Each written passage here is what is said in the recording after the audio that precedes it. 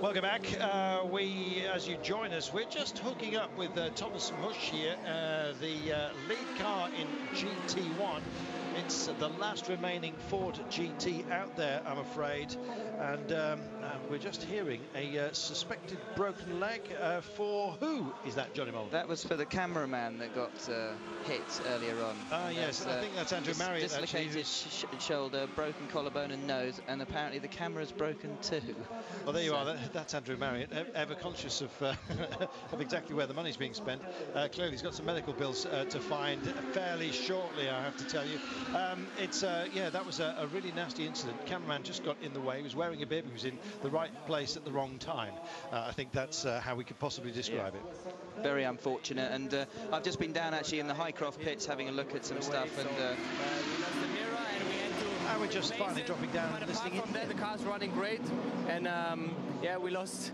But it happened that we lost in both safety cars, especially in the first one, we lost one third of the lap, and uh, in the last one we also lost quite a bit. So I don't know. That was not so lucky, but apart from that, it's running really good, and I think we're doing good good job so far. What do you make of the lap times, the lap times of the Peugeot and the Audi? I mean, at the start of the race, I mean, I started and I think at the start of the race we could keep up quite okay, but uh, until that safety car issue was, and then, uh, I mean, the Peugeots were apart from us, so, and then it was, uh, yeah, difficult, I think, but would have been much closer, I think, if that safety car thing would have would have had not happened.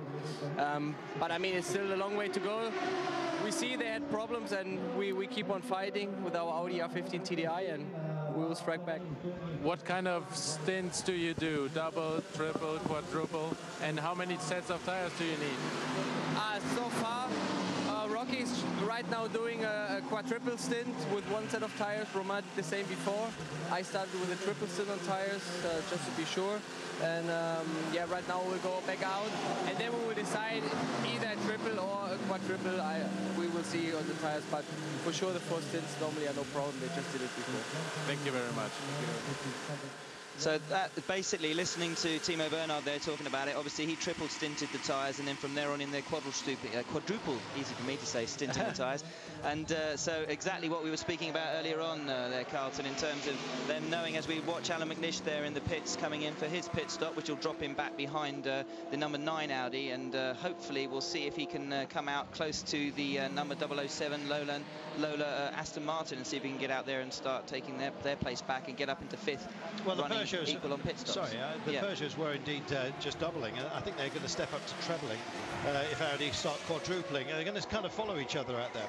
Uh, by the way, just to be absolutely clear, uh, Andrew Marriott was the gentleman that sent us the text, uh, well known to a lot of motorsport fans. He sent us a text about the injured cameraman. It's not actually Andrew Marriott, uh, just in case uh, anyone was worried or misunderstood. Well, yeah, last time I checked, Andrew wasn't a cameraman, so No, no. but just in case to be absolutely certain, Andrew's everyone realises it's not Andrew. He's alive and well, doing uh, doing Yes. the uh, dot com at the moment. And uh, alive but slightly knocked about, sadly, is uh, the cameraman who got uh, knocked over by, I think it was the, the seventh Num- car. number nine Audi. Now, nine Audi, I beg your pardon, not the seven.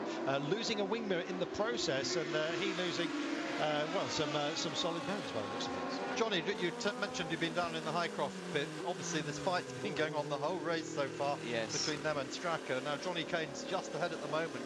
What, what's the feeling at, at Highcroft? Do they think you can beat them eventually? I think they do. I think they, they realise that every time, and I mean, I don't mean no disrespect in this, but obviously it's, it's how strong is your weakest link, and I think that they, they feel that they have a stronger, weaker link than perhaps than the Strakka car, and uh, ultimately I think uh, they know that Johnny and uh, Danny in particular are having to push extremely hard. Nick, to be fair, did a very, very good job there to uh, keep it absolutely clean and uh, and not make any mistakes, but obviously the lap time still suffered a little bit. My goodness, look at this on board, absolutely fantastic. Into traffic here, TDI up in front.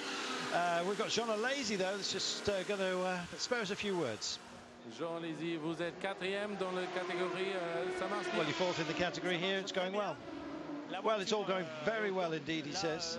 Tout à l'heure, en début de, des 24 heures, j'avais un peu chaud. dans Well, uh, for, for me, it feels like uh, first time here, um, despite the fact he's been here a long, long time ago. It's all new and exciting. Prochain pilote. Donc, c'est quoi la stratégie maintenant Maintenant, donc, So what's the, uh, euh, what's the euh, strategy that's going on now? Uh, you were the second driver in the car. Moi, je- je vais repartir pour euh, deux fois euh, un double relais. Yep, I've been double stinting out there and uh, maybe a, a, little bit more a bit later. Uh, very, very short and to the point.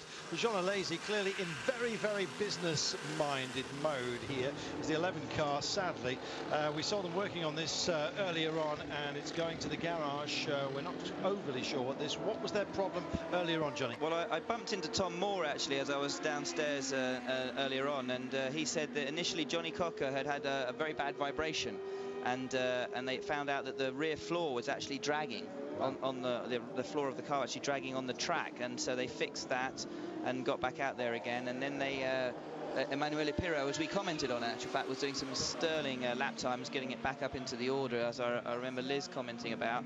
And then uh, after that, I believe that uh, Paul Drayson got back in, and uh, and then he started smelling uh, a, an oil problem or something, and apparently the intercooler had gone onto the exhaust and was was burning the, the oil in the car, so they had to fix that as well. Well, after they put that on the dolly jacks, um, personally speaking, it looked very, very flexible. Uh, yeah. I think it's the only way I can, I can put it that. I don't know whether the floor's gone again. Yeah, I don't well know whether they'd actually like that, loosened yeah. any bodywork uh, before they'd actually decided to take it in. And this is a bad sign as well for the 12 car. Uh, they had uh, underbody damage after uh, shorting a couple of chicanes. The 13 car did exactly the same. I'm really not quite sure what the issue is. I was wondering whether it was actually a steering problem with them. And look at this, Mark. Yeah, that's Marco Andretti on board, of course. That car's now dropped to 21st. What a shame. Marco came here hoping he could at least win the petrol division. Obviously, no chance of beating the diesels. And grandfather Mario's here cheering him on. And, uh, well, it's just not going his way at all, is it? It's another of these baptisms of fire at Le Mans. There's I mean, no great pace about this. There's no sense of urgency either. And that just kind of tells you what their night's been exactly. like and just where they are. I can tell you I feel for them because I had the same problem two years ago here. And it, at that point, you don't wish the car would stop exactly, but a little part of you thinks, crikey, how long, how much further of this do you have to do when you know you're tooling around in 21st place? And we ultimately made our way back up to 11th, in fact, so it wasn't the end of the world. But you kind of know that any chance of a podium, because you dream, you dream of winning, obviously, but you know you can't in those situations. But you dream of a podium and getting lucky, and as soon as you know that's gone for good, it kind of takes a little bit of that motivation. Now, Johnny, just two weeks ago, you were calling the Indy 500, and we saw Marco finish fourth on the track. Then Alex Lloyd, who was third, got pushed back because of parting. Is Marco going to make it one of these days? Is he, is he going to be very, very good? Um, I think he already is very, very good. I think perhaps he was brought in a little bit too quickly, too too much too soon. But uh, I, I, do think that he's uh, he's going to be uh, a very, very experienced driver once he gets himself going. And I think the Indy 500, whether he'll win it or not, he nearly won it his first ever time, remember, um, and, and, was very unlucky not to. But I, I, think he's he's come into the LMS a few times in sports cars, done very, very well. He's very fast, but he's people forget how young he is. I mean, he came up so quickly through the ranks, so I think he maybe needs to mature a little bit in a few areas. But just looking at, uh, you saw that picture in picture, it was uh, Gimmi Bruni who will be waiting to get back into that car. I don't think they've sent him that high towards the ceiling. Uh, on very, very high jacks there, they're, uh, they're doing all kinds of work on the 82 car. At least I hope he's out of it having a cup of tea. Well, the gearbox went on that car, yeah. didn't it? So um, obviously going to have to, no longer can you change complete gearboxes, you have to change all the internals. So again, that's another situation where you kind of know that you're in you're, you're in a situation where you could have won your class, but you know that you're not going to now, and it kind of demoralises the whole team and the drivers. But Risi are a fantastic team, and they won't give up. So the 12 cars just come in, and uh, we have uh, an Andretti waiting for us. Andretti the younger. Uh, unfortunately, he's probably feeling a good deal older tonight, especially with uh, 15 hours and 36 minutes plus remaining of this race. As John Mowlem was quite rightly pointing out, um, it's a bit of a heartbreaker when uh, at this stage, with so much of the night and then the next day still to race, that's what it's all about after all. Uh, you're stuck down there in 21st position. Well, he's obviously been uh, uh, uh, just dragged away momentarily with the with the promise of uh, a coffee and a bun. So as we look at the Hankook up on its jacks, we were a little bit worried about the the contact with the road surface, but Hankook proved on occasion that it can be can be their track, especially it seems um, when it comes to intermediates. They'll probably be hoping for a little bit of rain so they can start to shine. Yeah, and remember this is the car, Carlton, that finished second in the Nürburgring 24 hours two weeks ago. First time Ferrari have ever contested it with a F430. They finished second. How good is that? And that is really where Hankook's strength is. They can produce these tyres for the Nürburgring, for the Nordschleife in all conditions. Le Mans a doddle for them. Well, we'll see how they go. Uh, they're uh, they're busy with their change. This uh, overhead shot, I've only seen it in the Highcroft. I think we might also have it in uh, the Rebellion team as well. Uh, but uh, just the Rebellion. Oh dear, um, is that? Which car's that? That's not old news, is it? That's new. Oh dear, and it's not that far either. He's dragged a little bit. look at this. He's going to have to be careful on getting out of here. It's a 28 machine. And There's Marc Rostan. That yeah. Is, that's the radical, isn't it? It is the radical. the orange-coloured radical. A bit of a tangerine there. Oh, oh and he, has he overjuiced it? Just sent it back. He's all right. He's retrieved it. And, and that was, uh, there, that was quite neat. Yeah, you can see there though when the lights pick it up offline how much dirt and debris and yeah. gravel there is as soon as you get offline. So you can understand why when people get a little bit wide away from the racing line, it's very easily done to just drop it and, and spin off. Now remember, this was the 56th car this year. This car was admitted very late when the ACO built a 56th pit and thought, well, let one more car in. Surprise, surprise, it's a French car. Pierre Bruneau, Marc Rostan. Marc Rostan, of course, a Le Mans regular and French GT champion some years ago. Um, they made room for them, and uh, they're still running. Yeah, and he got it going again and nearly wiped somebody else out in the process going through the Dunlop curves. Yes, I, I, think it was one of uh, uh, one of the previous generation of Audis that uh, almost got a the, clip one there. of the Kolles cars. I mean, yeah. you mentioned earlier on there about uh, the David Brabham and that shot above. It was a really sexy shot, isn't lovely, it? Above, and you can actually look down and you can yeah. see Brabs taking on board some fluid yeah. and then uh, and then getting back out there. Now, while he's making that stop, that's his 10th stop. He came, he came in, he was 82 seconds behind Johnny Kane. So it'll be interesting to see what the gap is when Johnny makes his 10th stop and uh, we get we get the true picture of that lead battle for P2. Well, we finally do have an interview for you. It's Marco Werner. Marco Werner, it's a nice battle in the LMP2 category in between the two sister cars, more or less. Yeah, it's uh, sometimes close. Uh, in a moment we are second. Uh, I had the lead in my stint at the end. It was quite good. I was happy in the beginning, the car was quite uh, okay. Sometimes a little bit struggling with the rear, but but came better and better. I'm come closer with the car. I'm very close to say that's my baby now. The times were quite good. So looking forward for the next stint. Is it still difficult because you used to be the quickest car here in Le Mans and now you're in the LMP2 category? Yeah, it's a huge difference. I mean, um, much slower on the straights, uh, but late on braking and, and the corner speed is there as well in Porsche corners. It's very nice to drive. It's still a challenge for me. I'm learning lap by lap. And uh, how is your program now for the rest of the night? Uh, yeah, I don't know. Uh, I think so that everybody is doing triple stints. Uh, so then Marino is on the car after Brabs, and uh, then I will do a triple stint, and we will see what is going on with the tires. Maybe we can fall. Okay, thank you very much. Thanks. Yeah, nice to hear from him actually. Uh, it's, it's uh, uh, it seems like he's been around for an awful long time. He's only 44. He's a youngster. Yeah, interestingly, Audi have got four of their top drivers here who are no longer driving for them. That's one of them, Marco Werner, a Le Mans winner.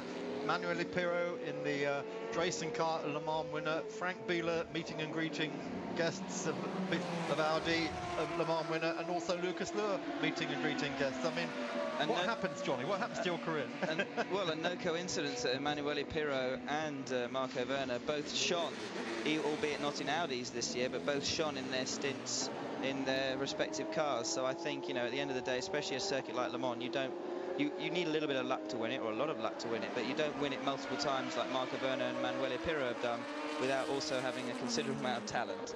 Pescarolo 24 uh, racing machine is uh, is back out. Richard Hein there. They uh, had a brief hiatus, as you saw. I think that's uh, Timo Bernhard getting back into yes. the uh, number nine Audi there as uh, Rocky gets out.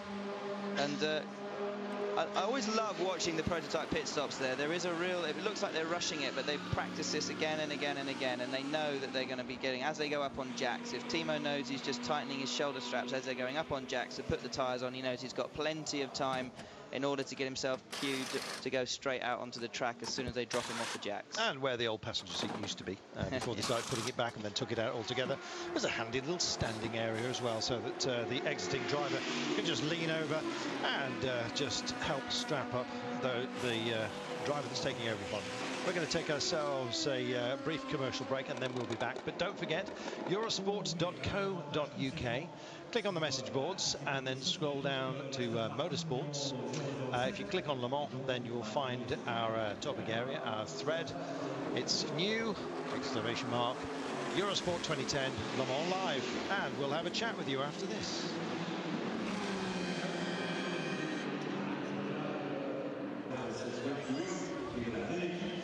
Welcome back. Uh, it's uh, fuel up time uh, down at uh, Ferrari. I love the look of this car. Uh, I, I, have to admit, it's uh, well even in green. Yeah, something about it. It looks yellow actually on our screen. It here. does actually. I'm not quite sure the white balance has been done properly, but it's actually um, a, sort of a viper green. Yeah. Um, I think is the way you could possibly describe it, uh, like a pea green, which apparently, officially, according to artists, is yellow. Anyway, but then, of course, at the moment, this is Jeff Hazel's only car that's still uh, running it properly at the moment. Well, it is Jeff Hazel. He and Beeky Sim shared the two cars, but Risi all their hopes rest on this car at the moment because as we just saw while we yeah. in the break the 82 car is still in the garage still having that gearbox yeah they're out of the fight. I mean and it happened it happened in 2007 when I was driving for Risi we were leading by three laps in the uh, 82 car it was then with myself and Jaime Melo and Mika Salo and we had a problem and uh, went uh, Jamie unfortunately hit some uh, oil and went off and we didn't finish the race. And lo and behold this car came through and finished on the podium. And uh, so they're, they're there or thereabouts. It's amazing. You'd say at the start of the race they haven't got snowballs if they're finishing on the podium, and then quite often at the end they're in the top three or four. Well, they get uh, away, and uh, just looking at uh, the Corvette, the 72 car, which is uh, just uh, berthed there for a wee while. Um, it's uh, a mixed challenge from Corvette, uh, just straddling GT1s and the GT2 class. And uh, there it is, the 72 car. It's the lead car as far as they're concerned, as it should be, from uh, from that class. But um, 72 at the moment is running in second place behind the Ford of uh, Mr. Mutsch who's uh, having a great time in 21st place, but the class leader as well. And this is by magic, the 73 car comes yeah. in as well. That's good marshalling. Very good indeed, yeah. But Stefan Gregoire just going out in the car. He shares with Jérôme Policand and David Hart. David Hart's done a good job tonight. Of course, uh, this morning seems like weeks ago this morning David was actually leading the Group C race in his uh, from a Porsche but uh, unfortunately he was involved in a couple of collisions had two burst tyres and didn't finish that race. But here he is in the main race doing a good job. The 73 car being refueled at the moment Patrice Goueslard who's been with this team forever Julien Jousse and Xavier Maassen the Dutch driver do they still use it? I just didn't quite catch sight of uh, the refueling nozzle. It kind of goes in the side of the car and goes very, very deep in. It's much longer profile than a lot of the other uh, refueling pipes. Well, the reason for that dates back to Dale Earnhardt Jr.'s accident at Sears Point a number of years ago when he went into a concrete wall on an outlap. He actually did it in the warm-up right in front of me and uh, had it full of fuel because it was a warm-up and it actually knocked the neck of the of the tank off and actually basically went up like you know a shuttle it was unbelievably scary to watch and he actually got back quite badly burnt and ever since then they've changed their refueling system and that's one of the reasons why it goes so deep into the car to protect it from any possible impacts. It also does keep the weight very central and uh, their uh, their cell yes. is uh, is kind of very very wisely placed. Yeah I mean weight distribution is key in any race car and you're exactly right Carlton to point that out in terms of where they're going to have it when it's full of full of fuel. That was a driver change Xavier Maassen taking the car over there so uh, on they go. That car now fourth in class. So we've got uh, Thomas Mutsch leading GT1 from Stefan Gregoire's Corvette from Julian Canal Saleen. That car I haven't seen a lot of, but it's there in third on the podium at the moment. And Xavier Maassen for the Corvette Alphand in fourth. In fifth place, Peter Kox on board the young driver's Aston. That's the car that should should have been leading. It was on pole. Yeah, well, uh, Gimmi Bruni is, is finally going to be allowed to get into the car. He's, uh, he's being strapped in as we speak, and uh, clearly they have finished whatever works they had started. Uh, but unfortunately for them, they have gone to, from 1 to about 10 in class, which is a real, real shame. Uh, 40th on track as we speak. Lights all ablaze and flaring here. Just about anything you look at, even a pen light, would uh, would be uh, dazzling here. It's uh, nighttime good and proper at Le Mans, and you're live throughout the night, and of course, uh, right the way until the finish tomorrow afternoon. And that comes in around about 15 minutes and 24, 15 hours and 24. Goodness me, even I was going to say, I was getting quite excited then. I thought, I'm feeling really bright and breezy. There's only 15 minutes left. Now, I don't know whether this is an art shot, uh, because we've had those before. Uh, I think you're looking at the driver in the background, uh, looking, looking uh, a little pensive. Broody, that's, that's a word, isn't mm, it? I think so. Uh, same with the uh, McDonald's back wing. Almost makes you hungry. Here they come. Uh, it's. Uh, I'll tell them where to send the vouchers. Uh, here comes the 50 car right now. It's normally an awful lot louder than this, and pits almost directly in front of our commentary position, and the work begins. Only one air jack. Now, a lot of people are saying um, that's just kind of a bit mean. Uh, I think it's two in NASCAR and uh, as many as you want in Formula One. You're talking about the wheel changes? Yeah. Yes. Um, well, they changed the rules, didn't they? And uh, obviously that, again, is something aimed at, uh, at changing costs, but also you then put a lot of pressure on the tyre manufacturers to actually make tyres that will last longer because you're going to lose more time during your pit stops. So it's just a, another change that the ACO introduced to, that you have to adapt to kind of as you go. We're looking at the 12 car and we're hoping to speak to Marco Andretti. Uh, whatever uh, job he had to do, he's clearly done and uh, is back and uh, apparently waiting to talk to us. But we've lived on a promise before um, and we're still not trusting the side lights lamps, by the way. It's uh, a bit shaky out there. Well, the Saleen has got three lights up. Uh, that, in fact, is running third in class, but we have seen some errors. the second place car overall, MP1, has been running three lights. So yeah, uh, we'll try and confirm everything we uh, we have apparently to, apparent to us uh, when it comes to the proper standings and the scoring. So uh, thanks to everybody who's been on the message boards. Mark uh, Cole has been uh, trawling through some of your notes, which has been a pleasure. So while he's just teeing up whichever one of you lucky person is going to win the, the, the baby rusk, we'll that's all we can afford to give away let's give it to Ian G. Uh, shall He says, I agree with Mark and Carlton, the Audis are looking good and uh, congratulates Liz on her insightful commentary. Keep up the good work, he says. He's been with us for many years, hasn't he, Ian G? So thanks for it. Keep them coming, everybody. Um, everyone in Belfast watching, they'd like a shout. Here are Belfast, here's a shout. And uh, also from Northern Ireland, we've got plenty of viewers coming in from there. So do keep sending us messages. We'll answer questions. Don't just tell us comments, ask us questions. We've got Johnny, Liz, they're here to answer them. Yes, it wasn't a tape uh, spooled back there. Mark Cole did in fact read out the same message twice. Uh, just, just ENG, he's got three mentions now. Mark's now flicking pens at me. Uh, here we go then. Well, in fact, what has happened uh, to uh, Mr. Andretti? He's gone away again. But we've got Vanina Ickx as a perfect replacement. Vanina Ickx. The race is not going as you wished for, does it? Um, no, exactly. We had a small problem with the power steering and we lost, uh, I think, about 10 minutes. But uh, as you can see, the race in the front is very fast and everybody seemed very reliable so far, so we have a hard time catching up. What's your program now? Are you getting into the car? I will be in the next stint, yes. For how long will you run? Double, triple, quadruple? I'll try to go for a triple stint, but I have a small uh, cramp problem in the car, so at least two, and I hope to go for three.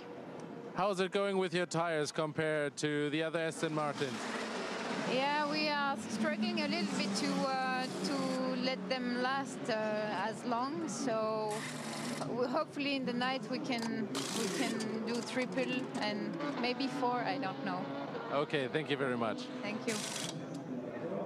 Vanina. Uh, she's terrific. Uh, we were just saying earlier on, Johnny, I don't know whether you're here or not, uh, six different cars, six times a visitor to Le Mans.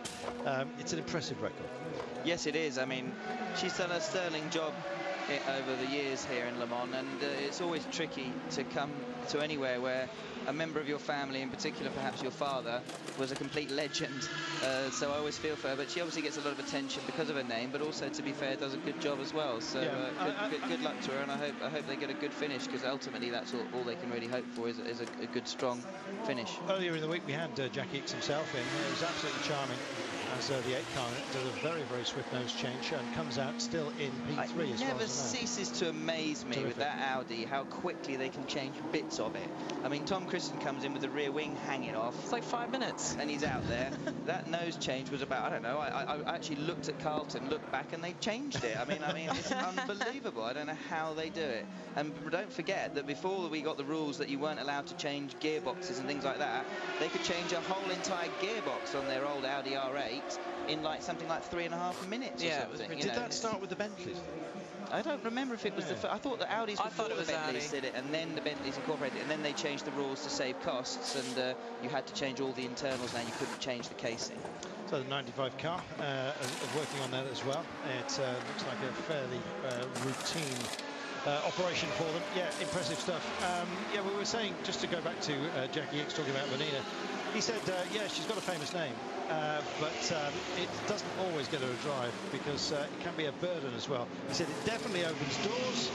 Then, of course, you have to step up to the plate and actually do the job. Well, and uh, she's absolutely. been in various series where it hasn't quite worked out for her. DTM was one of those. Um, She didn't quite get the drives that she needed. Endurance racing, she seemed to have found her home, in this. Yeah, she seems very, very comfortable in these cars, particularly in LMP1 actually, because I've, I've raced against Vanina in various different classes and different races, you know, all over the world really, and she's she's always been very, very much at home in an LMP car, which I suppose I can sympathise with because I really enjoy them as well. But she's done a sterling job, especially because she's she's not a very big person either. She's quite small, and she just gets in these big old cars and monsters them around the track, and I have a lot of respect for her for that. Yeah, tremendous. Uh, there's uh, an all-lady crew, or there was here. Female crew, woman crew, uh, whatever you fancy. Uh, what uh, happened to them? Uh, unfortunately, they caught fire. And oh, uh, dear. Nat- Natasha I missed Gishin- that. I must have been watching the England match. oh dear, I don't, well don't even tell me the score, I'm not interested. Uh, but Natacha Gachnang, um, she was in a, uh, Natasha was in uh, real problems there because the firewall failed and the car filled with smoke and she couldn't actually see where to stop. And when she did stop, she was against the barriers and it was on the driver's side. She couldn't get out. She had to go through the vehicle, uh, which for a big lady is quite some effort. And um, she, she's tall of stature. There's a lot of structure in there to actually You mean get her tall, out. not big? she's not I big, Well, she's that's- tall. I'll just before she comes up and finds you, I'll Makes just sound like she's I'll an hasten say, Amazon all- woman or all something. viewers, she's tall, not not big in Yes, terms of she wide.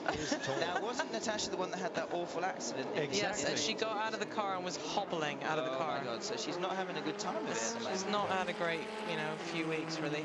Uh, we've, got, we've got a question here from some of the viewers, just uh, quite simple questions to answer for us really. Um, I can answer the first one and Johnny can do the second. Um, uh, this says, hi guys, um, what grade of license do you need to race at Le Mans? Is it International C? Actually, it's International B, I have to say, so that's answered that one. Next question is, what is a typical budget for a paid driver in GT2 at Le Mans? Do you know what? I have no I idea. thought you'd say that. I, I genuinely don't know. I mean, I've been very fortunate to be paid to be here every time I've raced here. So uh, it's about 10, 12 years since I've had to actually bring money to a team. So I'm, I've been blessed. So I don't know. I really don't know. Maybe Liz will know. I, I don't know, and I think the answer to that is it changes every year, and it depends on the car and the team. So, and, and it, it ain't cheap. Yeah, Uh, no. we have Guy Smith standing by to have a chat with us from uh, and Racing. And again, we've been on a promise uh, No, Guy the, will be there. Guy will be there. from Rebellion wait, before. Marco Andretti, I don't know whether they keep mistaking them, but uh, they don't look much similar. Uh, but Guy apparently is waiting for us, so we'll be going down to him in just a few moments' time, thank goodness. Uh, retirements for you. Uh, the list is getting longer and longer. Shame about that BMW. Yes, uh, and shame about them all, to be honest. We're starting with the five earlier on today. Here is Guy. Guy Smith, the car number 12 has a lot of problem, but your car runs quite well. How do you see the situation? Yeah, it's very unfortunate for the 12 car. Um, they've been going very well, um, doing very good lap times, but they've got some problem with the with the heat in the gearbox, so they're, they're trying to cure that problem now. Um, the 13 car has largely been uh, trouble-free. We've had a few small problems, but um, so far it's going well. JC's doing a great job. He's doing a, a quadruple stint right now, and then I'll do the same uh, following him. So, uh, looking forward to it. Yeah. You're running in P10 at the moment. Is that what you guys expected? Yeah, I mean, we'd like to take the fight to Aston Martin, but they're just too quick right now. I mean, they're, they're, they're still quite a bit faster on the straight. Um, we'd love to be able to race them on pace, but it's not, it's not possible right now. So we just do our own race. We go as quickly as we can, try and stay out of trouble, and uh, just see where we end up in the morning. And uh, you know, if, if we're in a position we can uh, take advantage, then we'll try to. Okay, thank you very much. Guy Smith uh, in the uh, 13 car. And, uh, oh, he's got his 13 on the other side. I thought he was wearing a 12. Yeah, it's good, good, good, good to see Guy there out, out there. Obviously, um, I know Guy very well from racing against him in the American series, and in fact, we got stuck uh, in a hotel together for about four or five days in Long Beach recently when we had the uh, volcanic uh, problems that stopped, basically meant we couldn't get back from uh, Los Angeles to, to London and it was quite quite nice to hang out with him. It's nice to see him out there doing well, solidly in the top 10 at the moment and you never know what could happen. Yeah, the ash cloud caused all kinds of havoc. I was caught up in it myself, I've to. So we're going to take ourselves a break. It's well and truly night time here. Uh, we're on board with the two Peugeot. It is our lead car, and it's still absolutely pedaling out there. 141 laps completed, uh, with just over 15 hours and 13 minutes remaining of uh, this phenomenal event. Yes, it, never fails uh, to uh, just fascinate. It's always a different story, and uh, this one is far from over being told. And I think that's the main worry for Peugeot down there. Every time we go down, they uh, they look uh, ever more worried, despite the fact they're in positions one and two at the moment. It's 50% down so far. Marc Gené battling back. He's in seventh place at the moment. Welcome back. Uh, yeah, as you can see, it's uh, more than relaxed down at Audi. Just while we are on the break, we were just uh, checking in with uh, the Drayson Racing Lola Judd, which uh, unfortunately is still having its issues with uh, its floor and oil smell apparently, which is slightly scary. And as we just rejoin Allan McNish here, I have to tell you that um, Marc Gené and the Peugeot, they may have had uh, a brief break, but he's just gone fastest in the opening sector, and he means business. Uh, the air's getting a little bit cooler out there. The tyres are absolutely perfect. There's great vision because it's at night. Know a lot of drivers actually prefer that on occasion because everything's illuminated. You've got to know where the enemy is uh, ahead of you, and also if you're being chased down. Right at the moment, Marc Gené is doing a lot of the chasing, and it's Stefan Mücke who he will be uh, introducing himself to. I should imagine, on track before too long out here. Just checking in as well with the uh, 76 Matmut machine.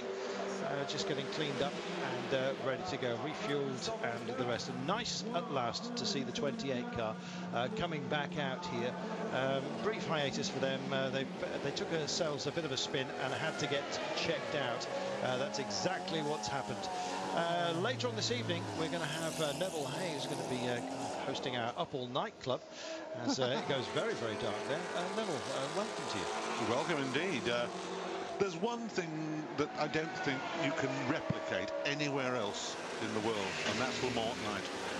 There's just something about there's a magic about it, and it doesn't matter all the racing that I've been to, anywhere in the world, something about Le Mans Night that's very, very special. And you say, why do you want to do the night? Because the night stretch is Le Mans.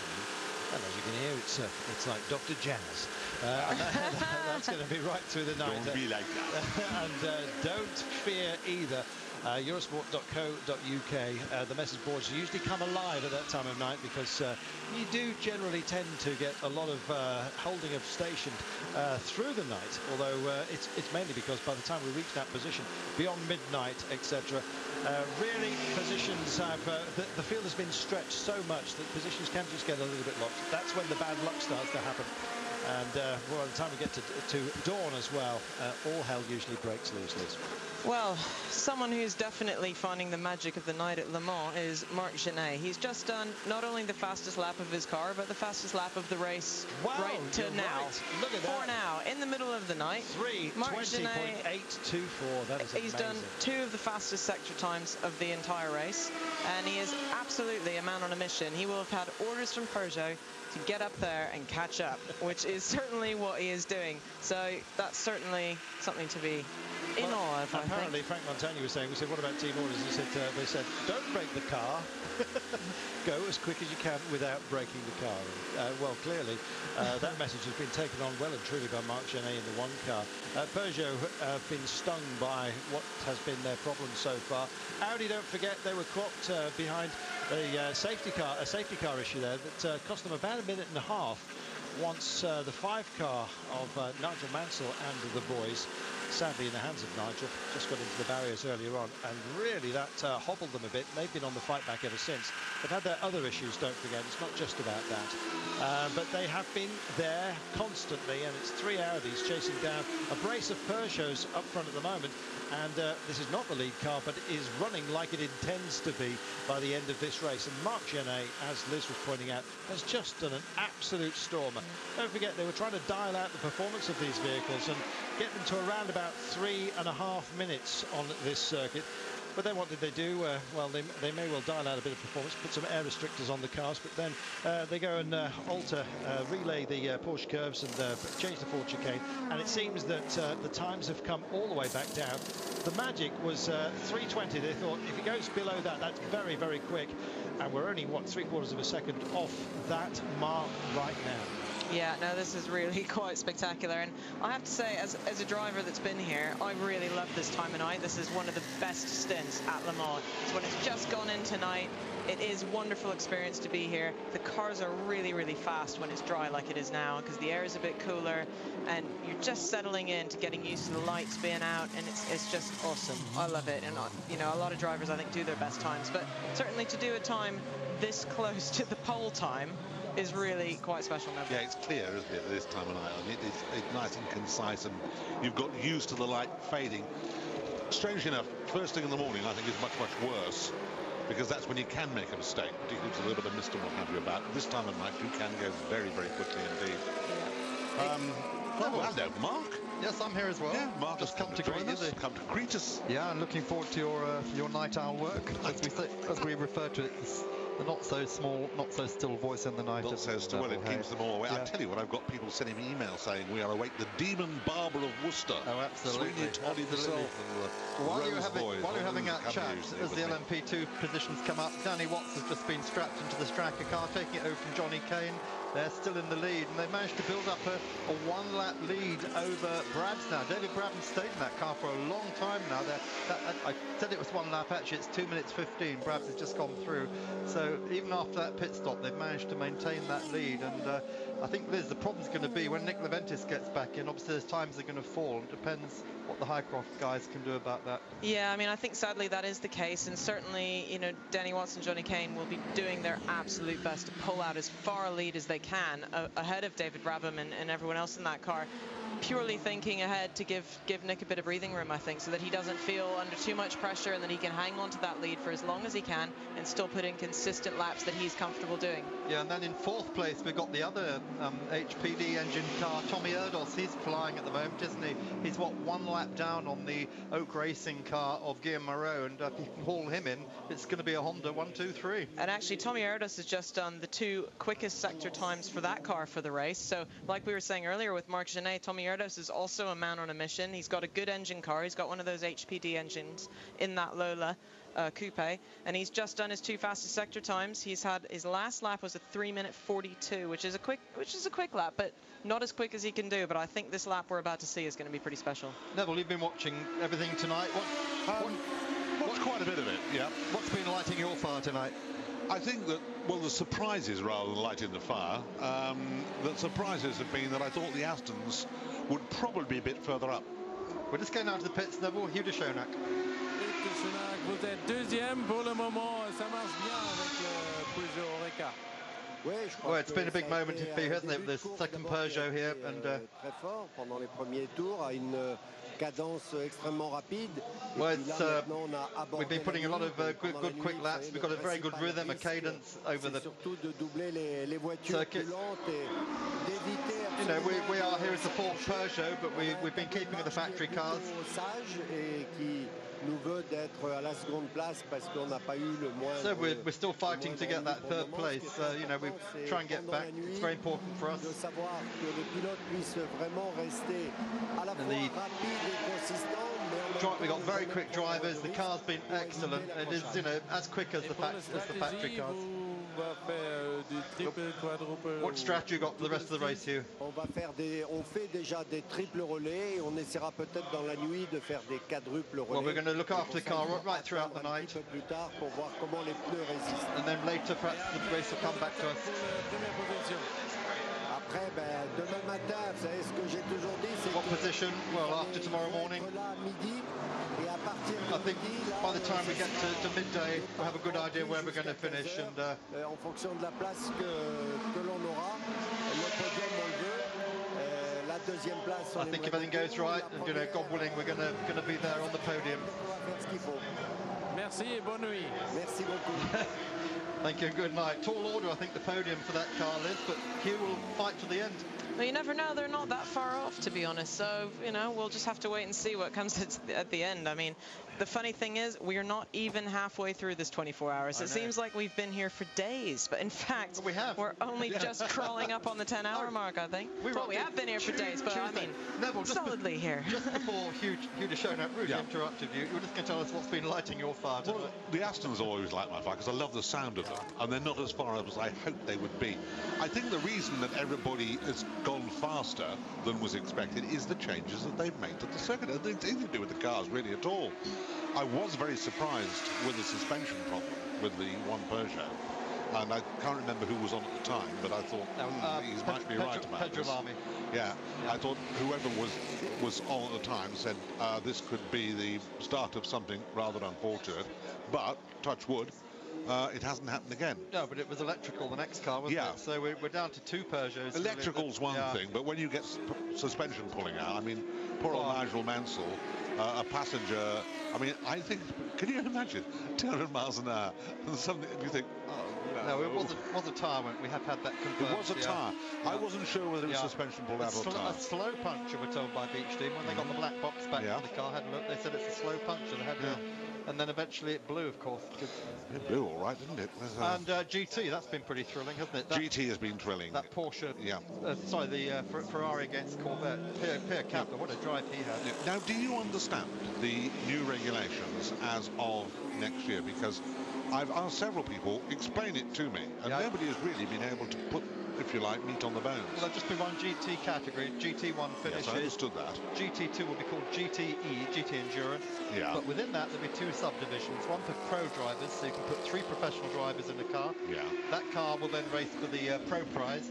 There'll be an amateur class for, for the gentleman drivers, and they'll race for the amateur prize. But it, it'll still, it'll all be to GT2 regulations. And what G- about the prototype size? prototypes? Uh, new, new regulations next year. As you know, they're bringing down the engine sizes on prototypes. That's what I was interested in. Except the cars racing here this weekend, including these this car, they can, they'll be grandfathered for a further year, they, so they can continue for another year. I'm going to have to interrupt you guys for a minute because Marc Gené has just done a 3 minute 19 in the night. fastest out lap of the race. Yeah, so I think that's pretty huge actually, considering that that was a qualifying time roundabout, and I think that's telling us that Peugeot had a little bit more in the bag than maybe they showed us in qualifying. Right, now if you're sitting at home in Surbiton with your beer on, the, on your sofa watching our coverage tonight, why, Liz, at this time of night would that happen? Well, I think I think like we talked about a bit earlier, that the, the air is a bit cooler. You know, this is the time when everybody sort of settles in, and I think as a driver, you sort of you settle into the night. You've gotten used to it being dark. You're comfortable in the dark.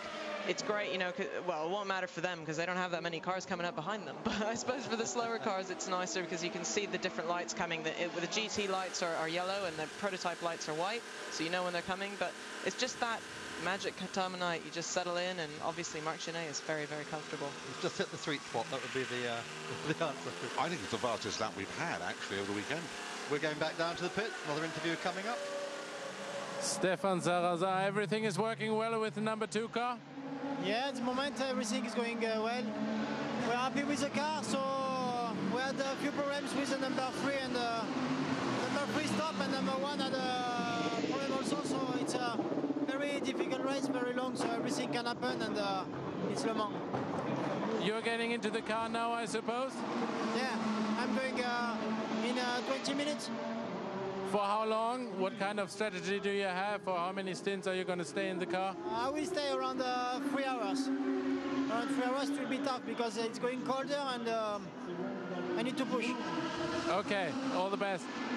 So Stefan Sarrazin uh, just confirming they are doing triple stints in those cars. Audi were talking about quadruple stints, weren't they? But uh, we shall see. Four hours, Liz, at this in, in the early morning. That's not too onerous if, if the adrenaline's going and you're focused.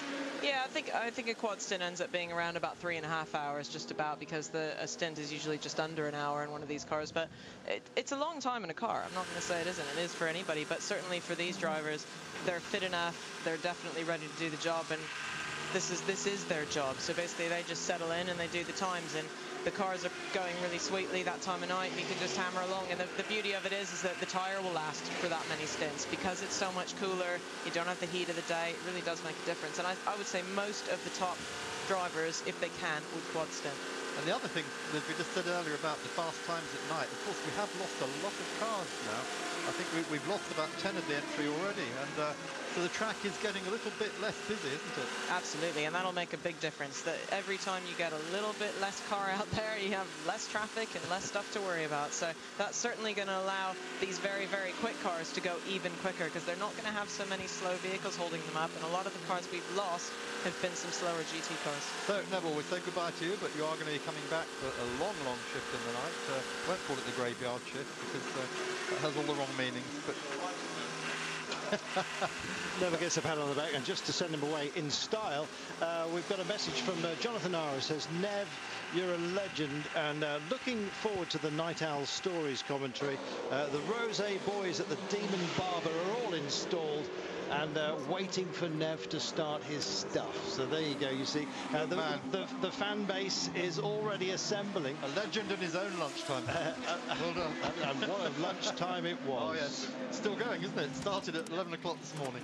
So the one car uh, is uh, finally coming in. Uh, they need plenty more fuel on that machine. It was very, very light and going very, very quickly.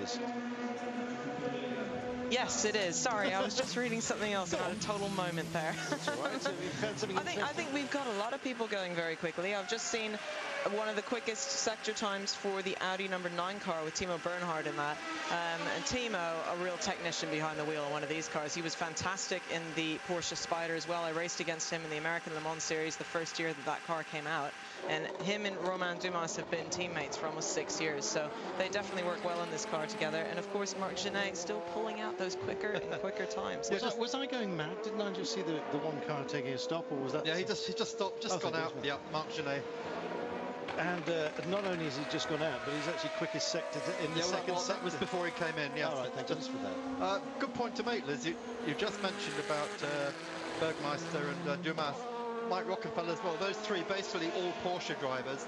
And people probably maybe not be aware, but of course Audi now owns Porsche, Volkswagen Audi own Porsche now, so this is why you can use mem family members to bring them into the team, and this is what Audi did very cleverly. Took the best Porsche drivers in the world and put them in their own team for this race. They did, absolutely, which, is, which has been fantastic and a, and a real, real up point for Audi. Um, some confusion as to which channel we're actually on. Apparently we're on both of them at the moment because uh, we're getting uh, two feeds from uh, different directors. I believe we're now crossing to Eurosport 2, but um, all the balls are in the air. Welcome back to Eurosport, uh, whichever channel you're on. We've been chopping and changing tonight. Carlton Kirby, our dear friend here in the studio, totally confused. But don't worry, so are we. Liz Halliday and myself, Mark Cole.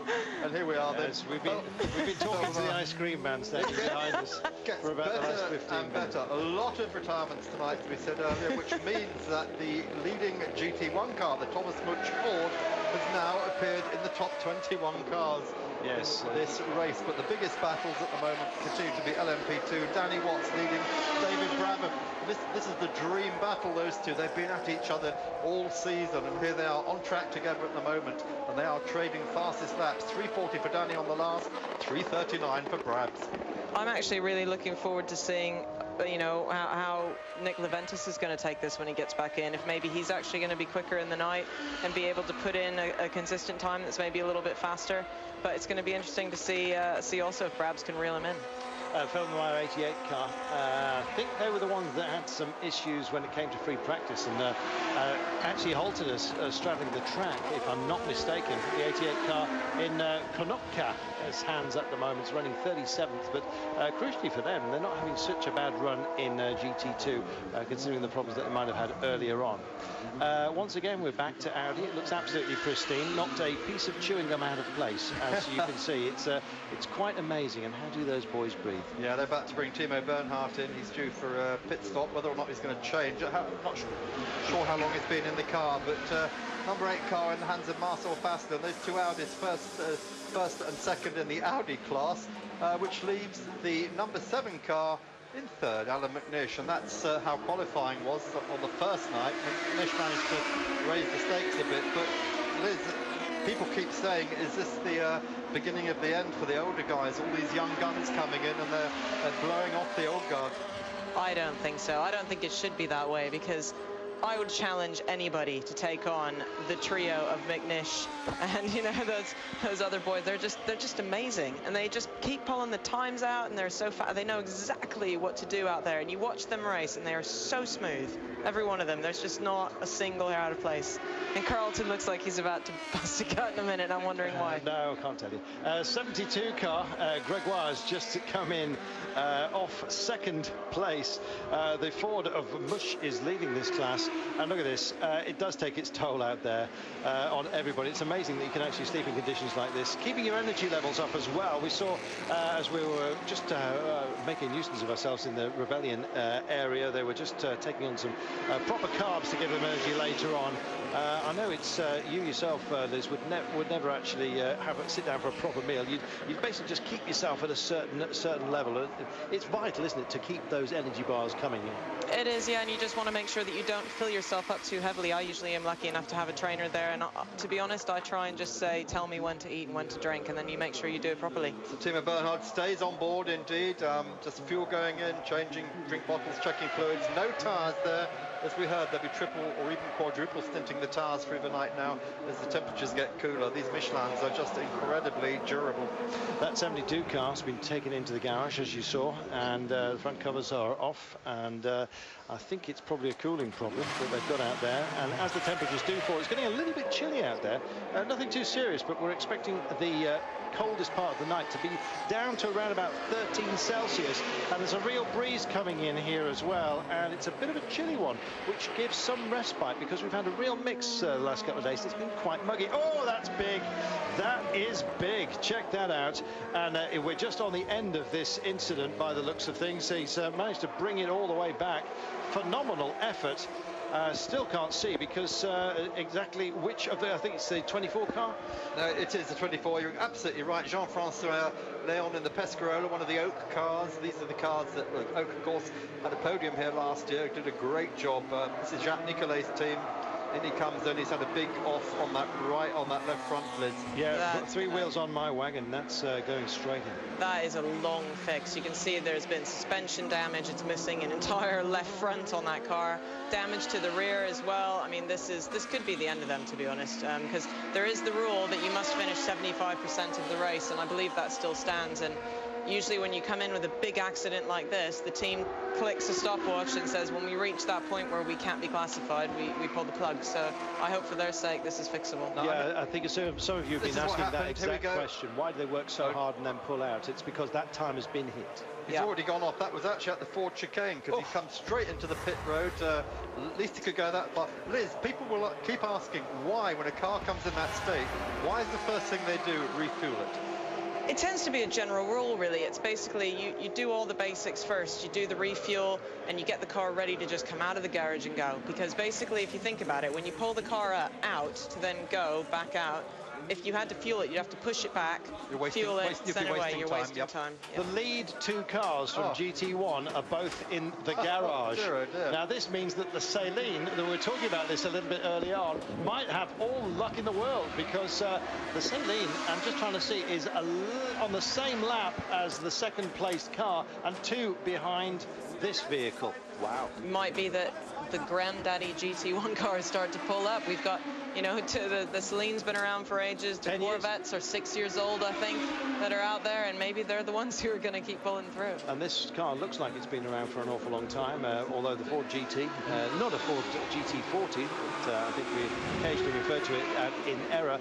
And look at this, uh, no great haste going on either, although uh, there are some pretty nimble hands working yeah, further they're, down. They're working on the engine, aren't they? Corvette being front-engined, of course, but as you say, Carlton, this GT1 class beginning to self-destruct. So Julian Routkanal, as is known uh, in the Saleen there, the number 50 car, 29th overall.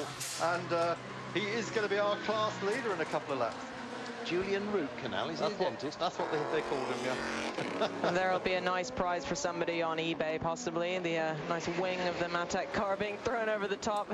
Well, it was in such a state. Uh, what I'm worried about is uh, bits of carbon fibre and fiberglass and all kinds of other stuff that have been uh, strewn as it uh, made itself, uh, very luckily, I've got to say, uh, back into this area uh, because um, they were in the right part of the track to have a very nasty accident. Absolutely, and we'll just have to wait and see what comes of that. It doesn't look like there's enough debris to cause a safety car, which, which to be fair, a safety car right now would be a bit of a mess. So I think they have to weigh that up when they're looking at do we pull multiple safety cars onto this huge racetrack or do we just carry on? And uh, a little bit more work going on, but it's all cleaning at the moment. And uh, that little uh, hoop-shaped visor uh, just in front of the driver um, is ever so important. Uh, it, it may look like absolutely nothing, Liz, but it serves a, a, terrific purpose, and it's one of the things that they actually concentrate on. It must be absolutely caked in uh, all kinds of stuff. Yeah, it is interesting. It really just sort of cuts back some of the, the wind drag you get on, on your head, to be honest, which is quite useful. Safety car's out. Ah, safety car is out. Yeah, there you go. We were just saying Well, it. there's a front wheel, there's a front wheel somewhere out on the, on the track. Somewhere, yeah. It must, Nobody- must be close. Nobody knows where it is. Um, Might still be rolling Yes, on could its well be. So for the third time in this uh, 78th edition of the Le Mans 24 Hours, we have safety cars on the track. Three cars go out. Remember, they do not, under ACO rules, have to pick up the leaders or the class leaders, unlike ALMS IMSA rules, as Liz has told us so many times today. And this is going to play right into the hands of uh, Mr. Marc Gené in the one car here. He's only just fueled, or fairly recently anyway. Uh, he's on track at the moment behind uh, the Lola Aston Martin 007, and crucially, Allan McNish as well has been on a bit of a charge. They're all on lap 147 as the safety car comes out. A couple of laps ahead of them are Fässler and Bernhard uh, Audi, and uh, ahead of them by a solitary lap uh, again is uh, Montagny and Lapierre in the Peugeots 2 and 4. Uh, so this is going to bring the field, hopefully, uh, back together. Yeah, but we've got a number of teams waiting in the pit lane, I think, ready to receive their cars for fueling. This is coming at the wrong time for them, because as we've seen earlier, behind these safety cars, if, if you stop, try and go out again, you're going to get held up for maybe half a lap. Well, you know, I've got to be honest, I think it's a bit of a mess. I'm not very impressed by that whole sequence because what we basically do is, ta-da, we've got a safety car. Now, all of your race preparation, all of your hard work means nothing because it's just down to the potluck of where you might end up behind which safety car and if you get stuffed when you want to come out of pit lane. So I, And indeed, am not very happy about that, i got to be honest. Peugeot, Peugeot is held up as they try to go out. See Wow. who else is. Now then, we were just talking up uh, the Saleen out there. That's now going to be slowed right down, don't forget. So all of a sudden, a bit of a break for uh, Ford and for Corvette, who are both inside the garage, don't forget, Yeah. at the moment. And the it's the second place car, by the way, Lapierre's car that's been halted at the pit Oh, lane. my goodness. He's going to lose a half a lap, or maybe more because of this, because the safety car isn't. Uh, it's just coming. First safety car is just going to come past the pits now. Well, you ride your luck, don't you, Liz, here, and Mark. Uh, this is absolutely amazing because um, it was against Audi last time by how they were picked up. They lost around about a minute and a half, they reckoned. And right now, there is somebody absolutely seething, waiting by a red flag for this first safety car. As it rumbles by us here, we are busy in with the leader of GT1. Now, this may have actually come to them. I don't know. A little bit of a rueful look there uh, from, uh, is it De Portalis waiting to get back in? I think it might be. Right, Lapierre's been released He now, but he's going to join the back of the first of the safety car train.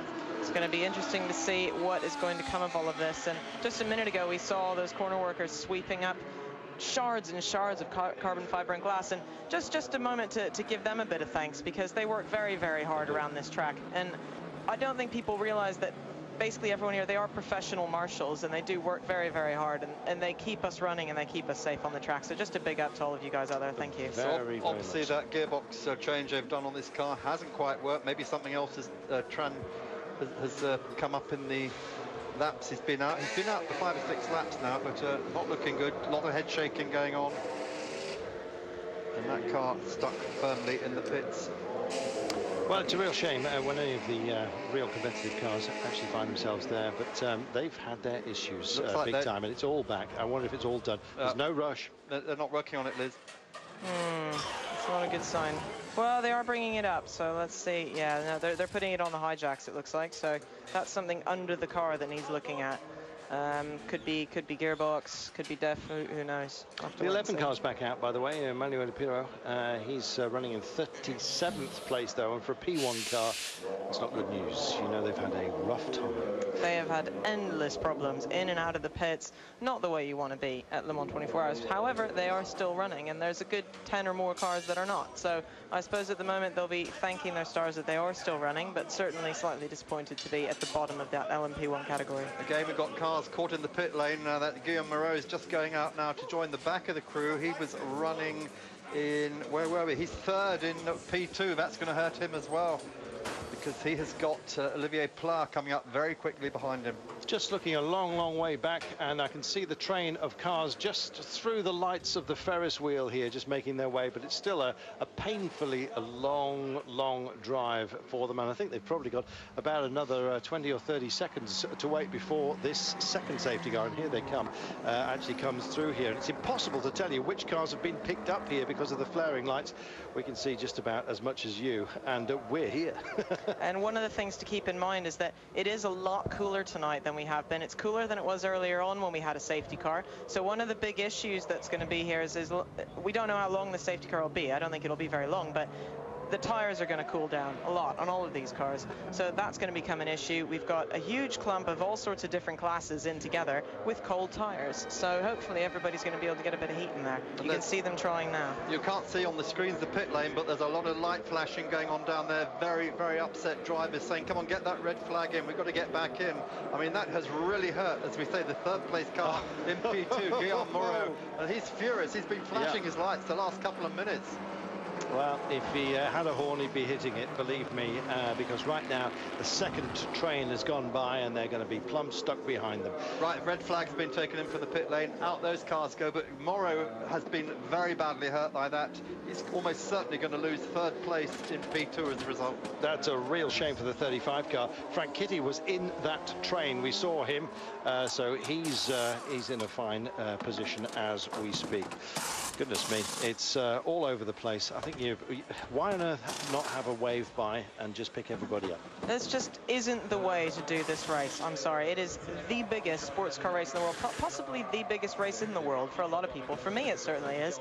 And I just hate to see, like I've said so many times, the fate of people's race being determined on you know, just where they randomly stick them in a pace car. I don't, I don't think it's right. I'm just wondering whether, whether they're thinking is something to do with the fact that uh, the uh, uh, the flag may actually change and the safety car might uh, be called in rather quickly, and so uh, they just want to get the race back without having to have too much of a disjointed um, uh, stop. as simple as that. But I'm sure there is a good reason yeah, as but well. But one can only hope. But why spoil other people's races yeah. doing that? Exactly. That, this is absolutely right. And I'm sorry. Here, oh, here comes Daniel Prost. There wants all our passes off us. Yeah, exactly, Liz, you're sacked.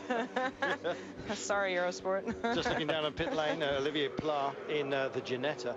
Uh, is he going to get held by a red flag? Yes, he is. So the third safety car is going to be weighted here. Flagged way down. He was uh, he was kind of hoping uh, that he could possibly get away with it. There is a bit of a stiff breeze here. All our flags are actually uh, full square on their poles, and uh, as a result, the red flag just looks like a red stick to the yeah. drivers because it's it's uh, planing horizontally, and so the flagman had to work very very hard. Shame you're not getting a picture of the flagman at the end of pit road yeah, as what, we speak. What you did see, you saw Stefan Mücke's pit stop in the 007 uh, Lola Aston Martin. He's now joined that queue by the red flag. And again, that car is in sixth place, and it's going to hurt him because he, at that moment, was only, uh, what, four seconds ahead of Marc Gené in the Peugeot. So that means that plate has changed on the track already. Safety car's gone, and uh, we're racing again. We're green flagged here. You saw the lights were off, and away they've gone. So you're going to have to forgive us because we're going to have to wait just like you to find out who's where after that mess. Uh, well, goodness only knows. Uh, so we're about to find out. Uh, on board with Franck Montagny in the two car. This is our leader, but look how busy it is up front. And when you get trapped like this, you're in all kinds of traffic. It's all compressed, don't forget. And all classes have got an, a very, uh, you know, the perfect right to battle for their own position on track. So why on earth would they give you the wave by here uh, and help you within your race? They're busy doing their own thing. And the two cars going to have to respect that. Franck Montagny uh, can see, well, as you can see, what he's seeing right now um, past the uh, Hankook machine uh, right now, and uh, just taking out, I think, uh, uh, my favourite Viper Green Yeah, that was, the, that was the Chrome car, yeah, the Chrome Risi car. So, uh, oh, Yeah. So, as you say, we're just going to have to wait for the cars to all land, having thrown them in the air. Oh, not Just again. Rebellion These again. poor cars have had such a hard run. This, this is uh, really is Jean-Christophe Rebe- Rebouillon. yes, it's a watch company, incidentally. Yeah. Uh, but uh, yes, He was, in Ouch. tenth, Oh. he was in 10th place. That's a big impact, Liz. I, I think we that's ca- got to could be have it. seen cold tyres taking the best of somebody, or maybe a bit of a nudge. Uh, maybe a bit of both. Uh, I think I suspect that there's still a bit of uh, gravel uh, around the place as well, just to help them out. But um, yes, I think their luck has finally run out. But I think, you know, when you do a restart like that and you're in all the traffic, you know that things have changed a bit. You know there could be debris.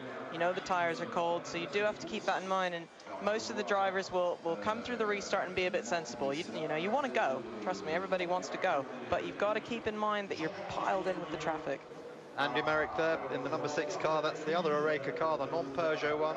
Andy came in in the car. He stayed in it, in fact, hasn't he? So he's being refueled. That car was in 10th place. Just waiting to see what's happening at the head of the field. Our screens are still showing Montagny from Lapierre and the two Peugeots, but we're pretty sure that Lapierre will have lost the whole bundle of time. It might be he just had, a lap's lead and has probably lost half a lap rather than a full lap. But Yeah, but crucially, it may well play into the hands of Fässler and Bernhard. We, we can't tell you whether that's the case, but they're certainly deeper into the course at the moment. They're just coming out of sector three and going is sector two and going into three. The car stopped is the 13 car at. Uh, uh, and unfortunately, I'm just hoping that this doesn't cause any kind of safety Boullion, issues. Boullion's body language slams the door. He's going to walk away from the car. You get 10 metres away from the car, and that's it. You're then deemed to be out. And look, he knows he's not going anywhere. End of that car's race. They've had so much work on that vehicle, Liz. I think they may well have just timed themselves out of this one. He's certainly had enough, and he's made the decision. Uh, yeah, they're just asking him how far away from the vehicle you, do you do actually want to step, um, and he said, um, "Well, the, the full 50 yards, please." Yeah, no, I'm he's, out of here. It, they've not had a great run, or they've not had a great week. And actually, Jean-Christophe Boullion is a really good driver. He's a fantastic driver. Many years with uh, Pescarolo, and um, you know a lot of great results. So. I, I just wonder what those cars have been like He, to drive. he crashed that car Thursday. He did, he uh, did. Wednesday night, remember? He did. And he's done it again. Yeah. So, uh, It's not great. No, no, not great at all. It's a busy night, and it's going to get busier, except for these boys who are in pack-up mode by the looks of things. Right, now what's happened? Nick Lapierre, who we saw held up at the pit lane uh, exit, he has not lost second place, Liz, but he has lost a lap. He was one lap ahead of Marcel Fässler. That's now come down to 79 seconds.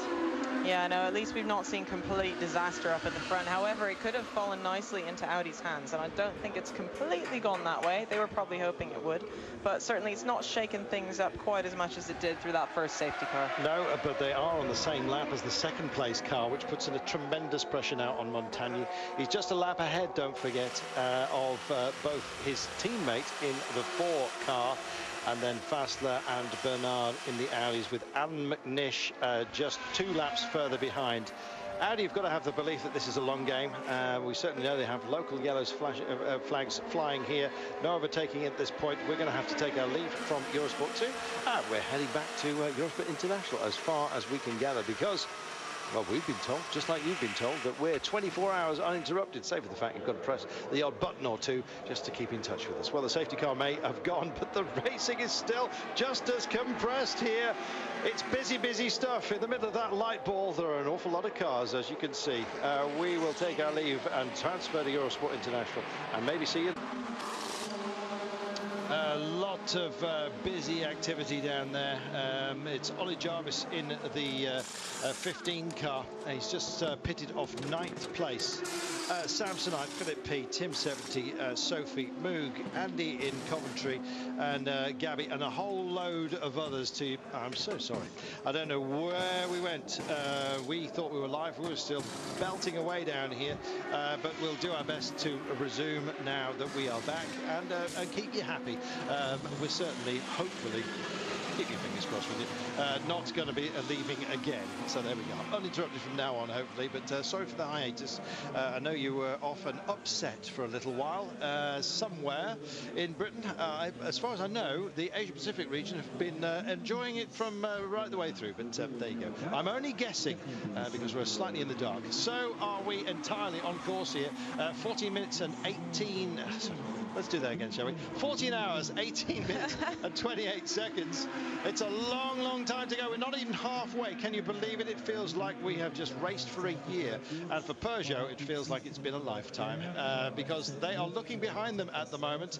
Uh, two of their cars have been in trouble. One of them is really battling back. One of them is out. The three cars gone. The one car in the hands of Marc Gené is driving so unbelievably out there, uh, considering his fuel loading as well. He's uh, come in and he is attacking Allan McNish, who's out in front of him as we speak. Sarrazin and Lapierre are in positions one and two. Uh, Sarrazin is on uh, lap ahead, but crucially, Lapierre and then the Audis of Bernhard and Fässler are on the next lap, and uh, one behind them is Allan McNish. Peugeot starting to look over their shoulders. They're looking a little bit nervous down there. They're looking a little bit tense. Others, well, they've got more serious problems, as you can see.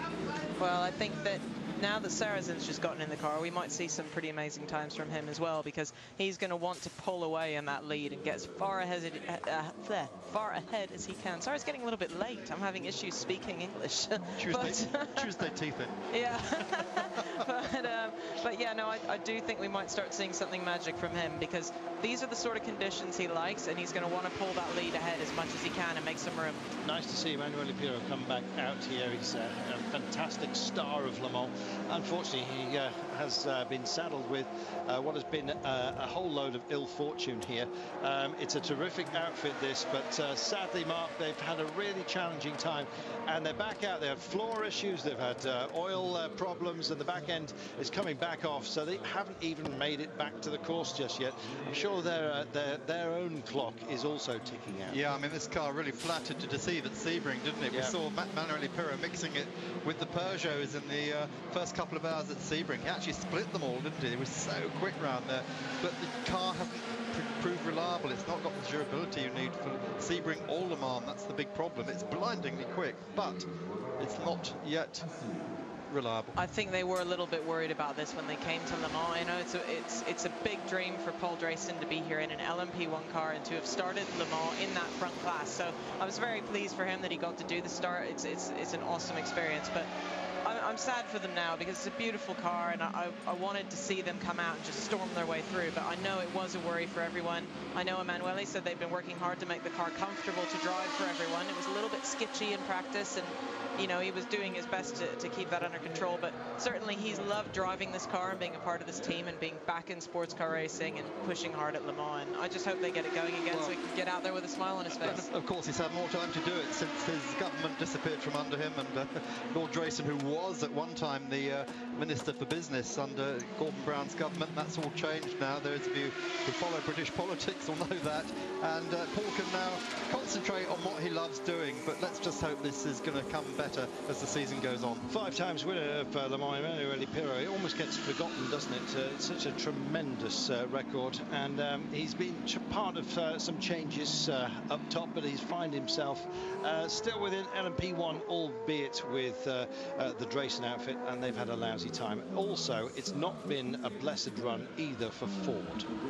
No, it hasn't. This has been a tough run for them. There were three Fords that came here and only one remains at the moment, and only just. It's hanging on by a thread after losing its rear wing after contact with a prototype, we hear.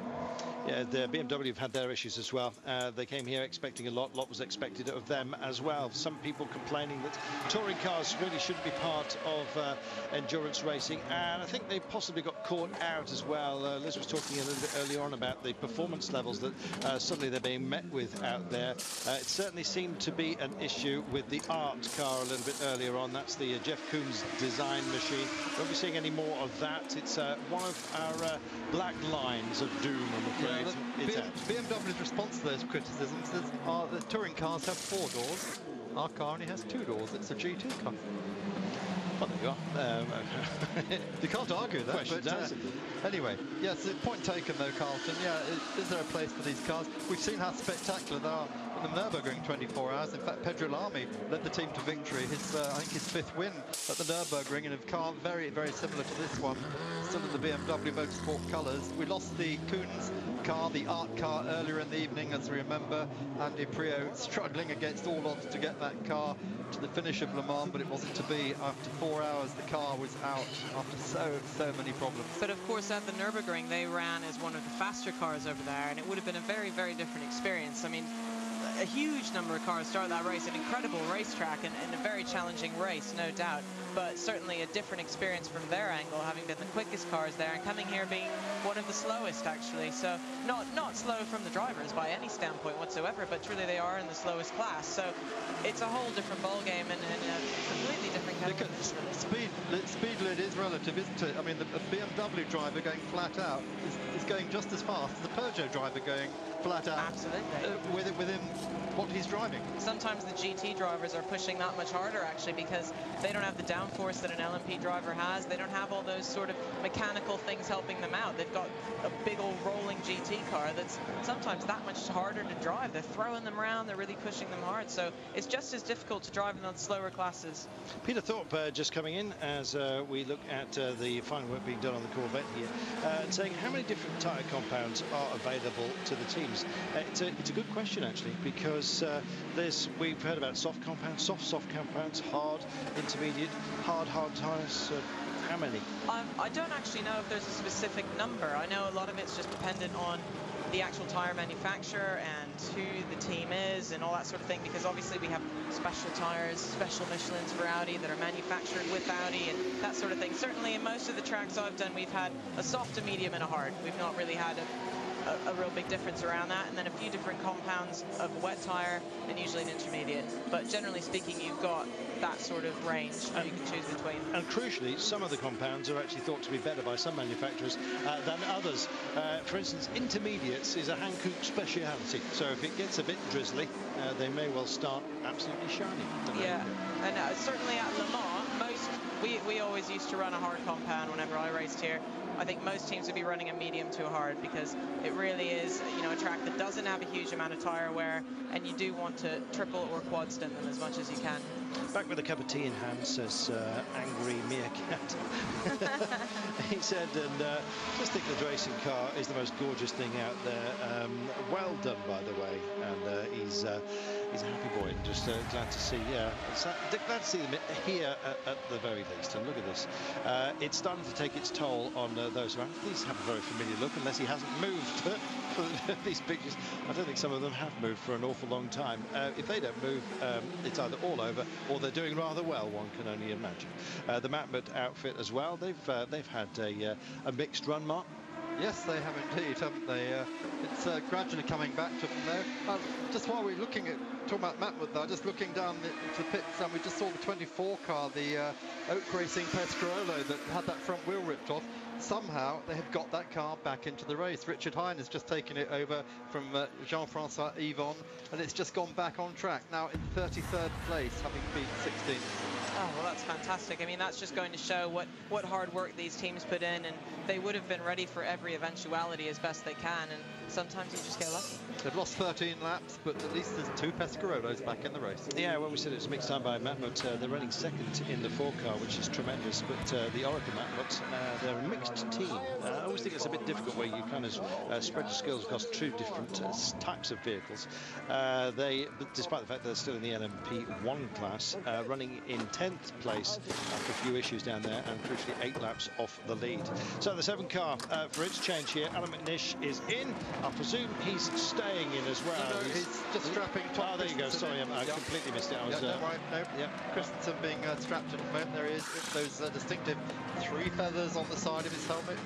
Interesting as well. We actually said that they had a very specific change order, and they uh, came through that everything. Yep. well, all the strategy went out after that, that, first long, long safety car. Yep. Uh, and uh, Tom went out, and uh, he had his own issues as well, requiring a new back end by the end. We're going to take ourselves a brief commercial break and we'll be back in just a few minutes. Uh, front end issues, we uh, thought suspension, but they've uh, immediately gone to the back end here. Obviously, a lot of issues on the 39 car.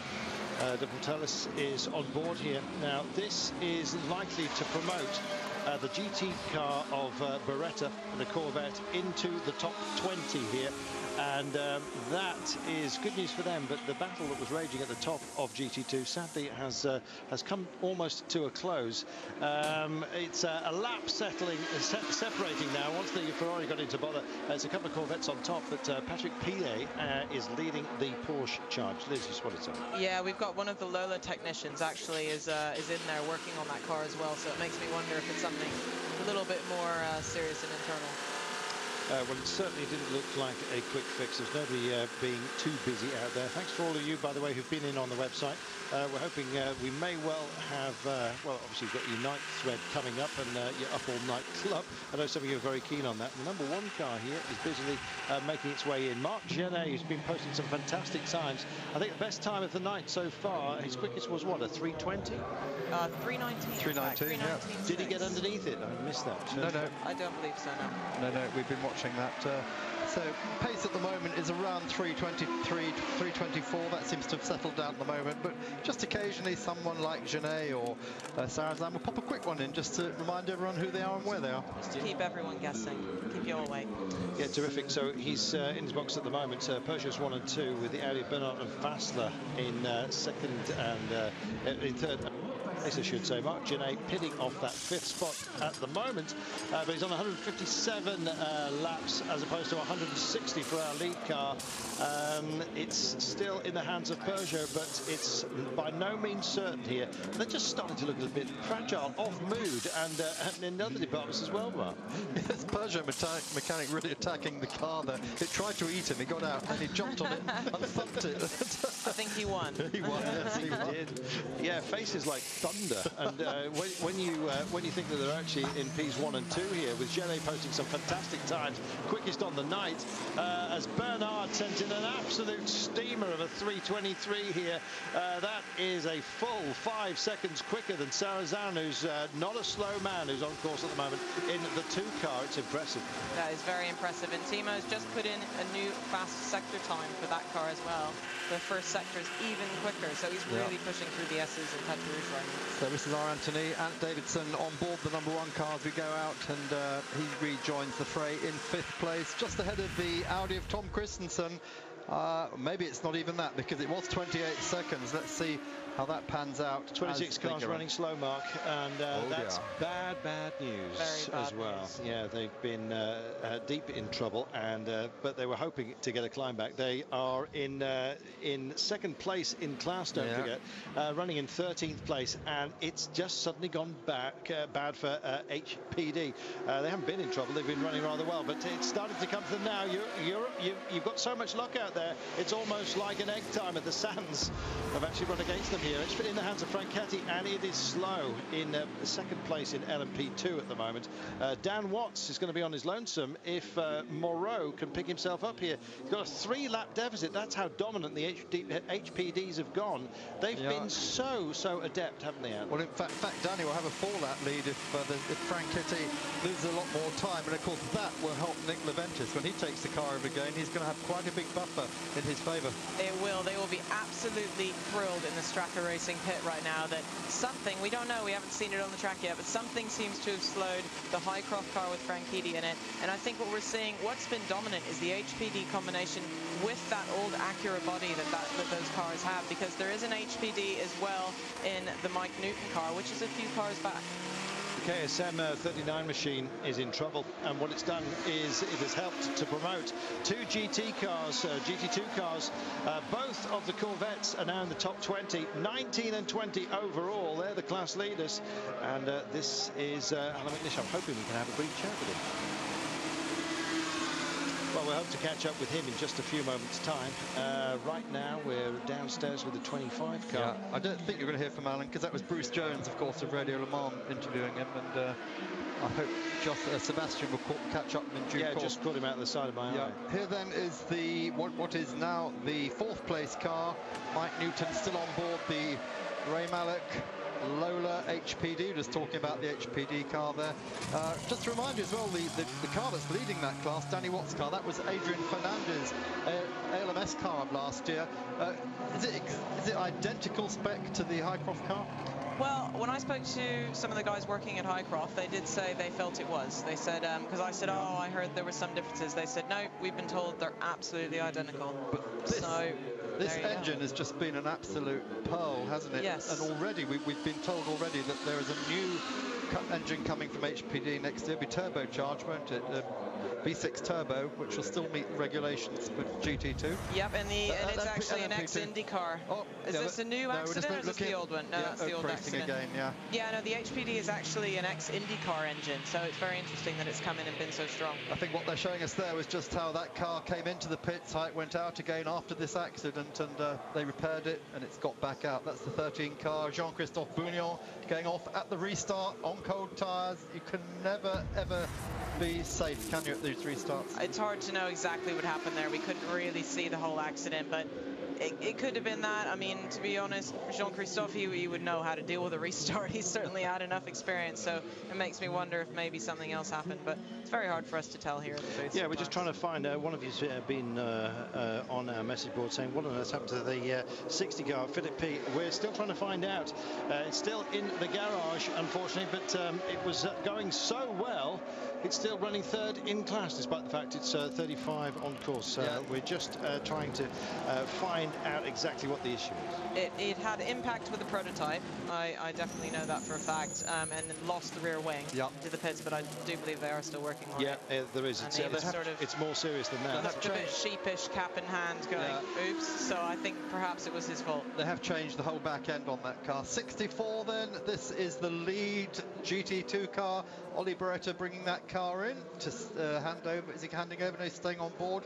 They're not taking tires on either at the moment, just fuel. This is really Corvette Rolex smooth, isn't it? It's amazing. Uh, they are celebrating 50 years at, uh, of competition, and um, they've been doing it in some style. They've uh, they've had some of their old uh, peddlers uh, back here and uh, it's been an absolute pleasure actually to see their joy. And and the fact that the program goes on and uh, that GT will be graced by Corvettes for an awful long time to come despite the fact that GT1 is coming to a close. They're going nowhere and right now they we say that but right now they're leading the class in a superb form uh, we've finally discovered, by the way, what the incredible noise we've been hearing several times a day is. Uh, it's huge horn bellowing out over Le Mans. It turns out it is a ship's foghorn powered by compressed air, which Corvette had put above their pit. Really? Asked why, they said, because there's nothing in the regs to say we can't. so there we that are. is fantastic. we like that. I hope everyone was tuned into Eurosport then to hear that. That is awesome. Go on the American team. so, so, guys, uh, we're just about to hand over uh, for the, the, late shift. It'll be uh, Martin Haven, Jeremy Shaw, Neville Hay, and Chris Parsons uh, taking oh, you the dream the team. Night. The dream team. Absolutely. Uh, so I, uh, we will try and marshal them towards the website so you can ask them a few questions if you wish.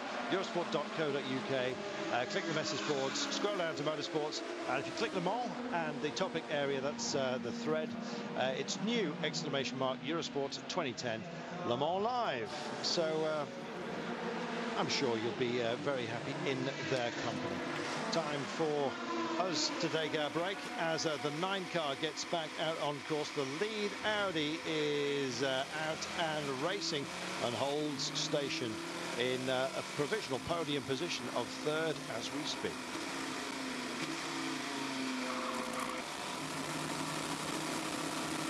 Hello, welcome back to Le Mans. Just a moment or two ago, onboard shots during the middle of the night here from the Audi just picking its way through traffic as Audi currently lie third, fourth and fifth with Peugeot first, second and sixth positions. And you're looking here at the LMP class, LMP2 class leading battle. Marino Franchitti leaving after service in the Highcroft Acura. Joe Bradley of Radio Le Mans there getting in shot. And Danny Watts still leading the class for the Stracker team. And again, much to the surprise of uh, the assembled masses, the Japanese Lamborghini Owners Club Murcielago is still going. This year's car clearly then a uh, very much more fettled version of the Murcielago than they had last year. This is a brand new car provided by Reiter Engineering, who are Lamborghini's development team. And so far, barring one puncture, they seem to have been almost entirely trouble-free. So there you go. Now do get it refired and away it goes. And I have to say, even in terms of relatively short GT races for Lamborghinis, uh, it is having a very good run so far. Hello everybody. Just under 14 hours of the race remain. And we are now properly into the darkness hours here at Le Mans. After a very wet morning, it has taken a while to clear. And we have now got a cool and clear night. It's been dry right from the start after a wet morning warm-up. And conditions now really ideal for fast lapping. That's borne out by Nicolas Lapierre in the number four Oreca uh, Peugeot, which is just about to come in for a pit stop. He's just turned a lap in 3 minutes 26, which is a pretty reasonable race pace. Uh, he's got uh, another half a dozen cars around him doing similar, and Davidson 3 minutes 24 in the last lap. Looking here at the uh, Porsche, which Timo Scheider is taking over or handing over at the moment. He shares with Marco Holzer and Richard Westbrook, and we were talking to Richard Westbrook a little bit earlier. Very disappointed with the new race engine they fitted to this car. It apparently is flatter than a flat thing on flat day. So it's got uh, no torque whatsoever. They've been consistently backing off wing on the car and trying to give away grip in the hope that it might drag itself off a corner but unfortunately it seems to be an awful lot less impressive than the race they uh, the engine they had in for qualifying unfortunately occasionally that's the way it goes. I'm joined in the booth now uh, by chris parsons and neville hay. So first of all good evening gentlemen. Good evening martin. Oh good evening Martin. very nicely done. Well done together. Uh, romain belleville steps out of the Saleen which uh, if we catch up on our gt1 positions is currently uh, oh, I'm lost. Third, one, first in GT1. They're scattered so liberally down page two of the timing screen. Yes, I can see it now. There's not a burly bloke in the way. At one green light signifies he is in first position. And there'll be two red lights on the side of this car because this is not the Saleen. This is now our second place car, the Oreca Peugeot of Nicolas Lapierre. And after Peugeot started so dominantly, with cars running one, two, three and four. They have lost car number three courtesy of a rare suspension failure and car number one with a serious delay due to some electrical gremlin. Bless you, Jeremy Shaw in the background. So, gentlemen, what looked like being a very long and painful 23 and a half hours waiting for Peugeot's axe to fall and to have a one, two, three, four finish uh, suddenly seems to have turned into a a much more edifying prospect. Yes, the whole whole thing seems really very open. Although the, the weather, which was the the one factor that we thought would would be would be the, the, the, limiting factor here. Um, looks fairly set now for the whole the rest of the race. Although it is quite cold outside and the wind is blowing from the north, which means that it could blow but blow the rain back. But um, I believe for the next two hours at least things are set, uh, although towards dawn there might be some rain which yeah. would upset things again. That's yeah. the sort of prognostication that over the last couple of days we have heard accompanied by claps of thunder. There will be no more rain for the rest of the evening. Quick, let's hide from the lightning. Nothing they say convinces me about the weather here. Uh, all the years I've been coming to Le Mans and I've been told, oh, it's going to be scalding hot and it rains. Oh, it's going to rain and it's hot. It just, it, it is a little bit of a lottery, but um, they do say, you know, that's an old story about Dame Doolittle, the fat lady sings, and I've got a feeling that this race, it had a sting at the start, and I think it might have a sting in the tail somewhere along the line. I don't know why I think that, but I've had this feeling all the way along the line. Well, there's always lots of twists and turns, and there's certainly been quite a few so far, and, and not just in the front-running LMP1 category either.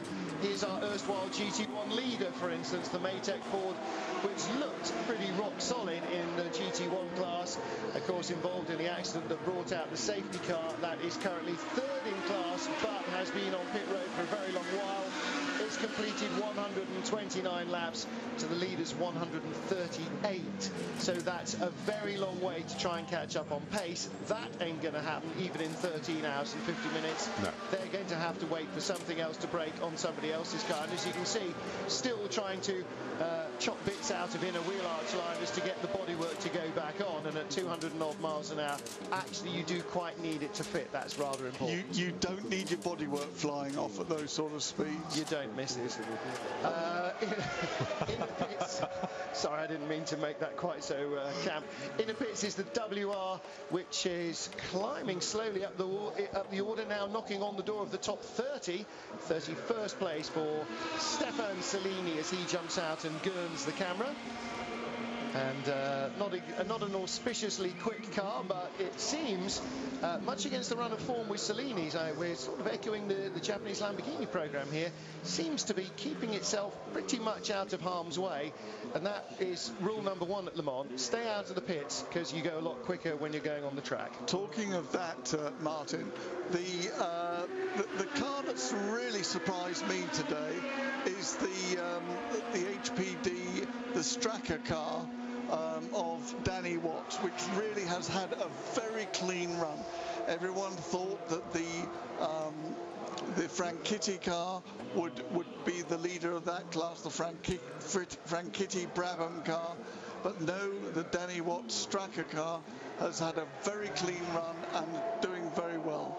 Now, have what three laps yeah, they're, and they're two cars that really are the class of their respective fields. The Strakka team have been very much the class of the LMS this year uh, in the LMP2, and the Highcroft team, which uh, Marino has joined for the long distance races as a driver rather than just as a member of the crew.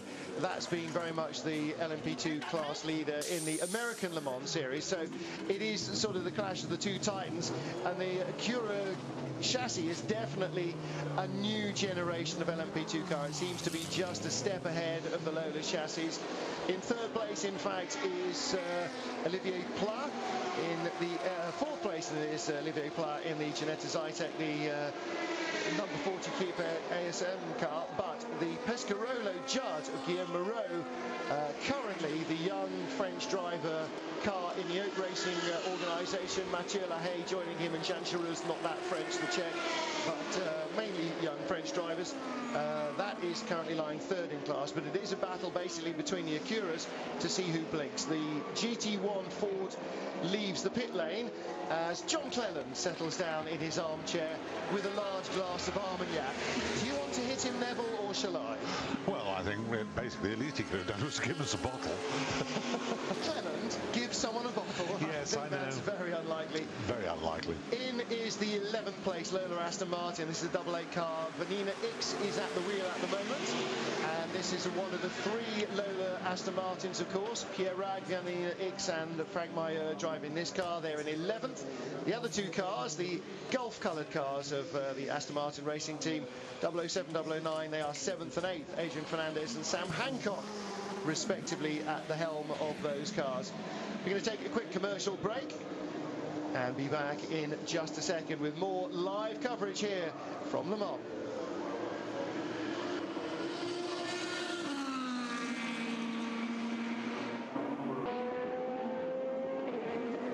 Welcome back live to Le Mans. You could only be in one place, couldn't you? Lights on, it's night, and there's the Dunlop Bridge. World's greatest endurance motor race continues. Looking here at our G, uh, LMP2 class leader, rather. The, uh, in fact, that's not. That's the Keefe ASM car that lies in fourth place in the car, which is uh, the class led by the number 42 Strakka Racing HPD engined Acura chassis. Acura in second place as well with the HPD engine in number 26 Highcroft car. That's the green and black machine. Third place in the class as we said Lola Judd of Guillaume Moreau. And gentlemen you can see the mechanics now starting to feel the pace of having been up at probably six-ish this morning to get into the track ready for nine o'clock morning warm-up. Um, the 24 hours of Le Mans, of course, is about a 40-hour shift, really, isn't it? It's the catnap club. and uh, walking through the paddock on my way up to the tower, my God, there are some very, very tired faces already. Tired and emotional, or just tired? No, just tired in the paddock. They're emotional outside yeah, there's the paddock. emotions outside running fairly high. The, the odd thing about about this race is that there isn't anything like it anywhere. Le Mans at night, as I was saying earlier on, an hour or so ago, it is just special. But the thing that I find uh, even more daunting is that now there is quite a lot of this circuit that is quite well lit. Not just the pit area. And then you go out here uh, and onto the and what have you, and it is very, very dark.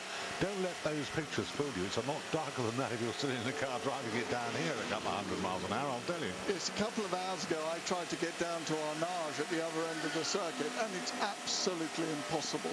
The there are so many cars, buses, people walking, bikes, motorbikes, everything. It, there are just thousands and thousands of people here, and, and uh, the night is the is the great thing here. I mean, I can remember as a a youth sort of coming here, uh, and also taking my boys here as well, and going out on the Mulsanne, you know, oh, it's just the most unbelievable feeling.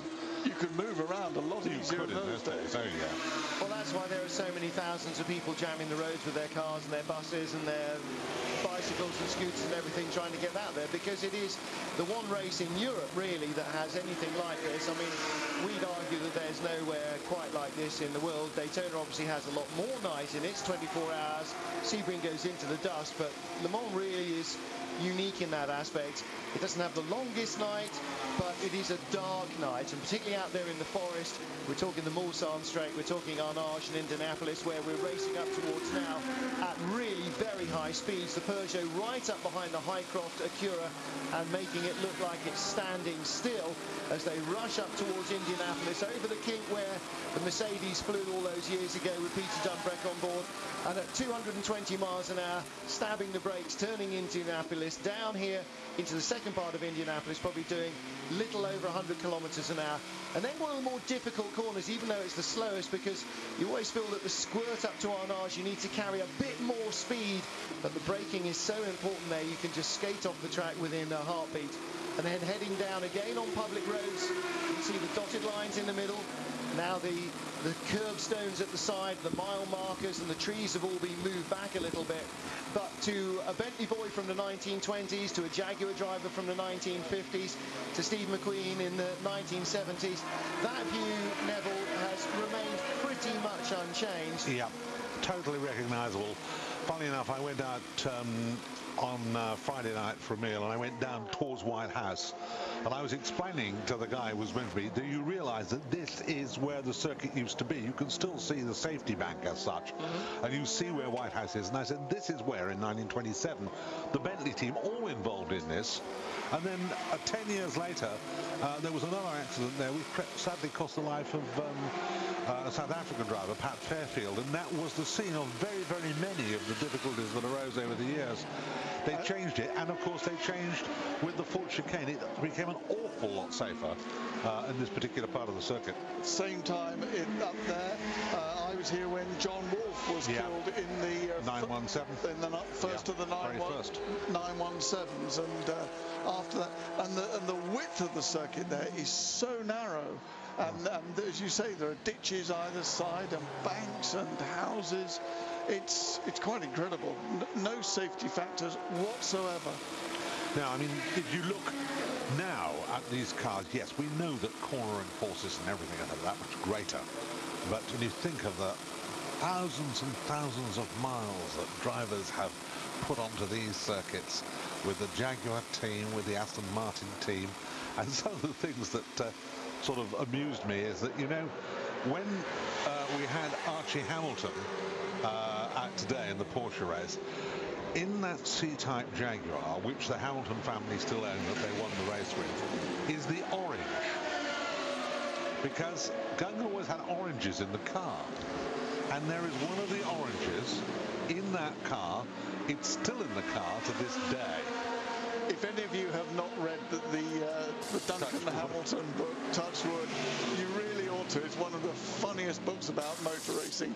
Some of his exploits were, were just tremendous. He did have some uh, very amusing times, I think is the nice way of putting it. Yes.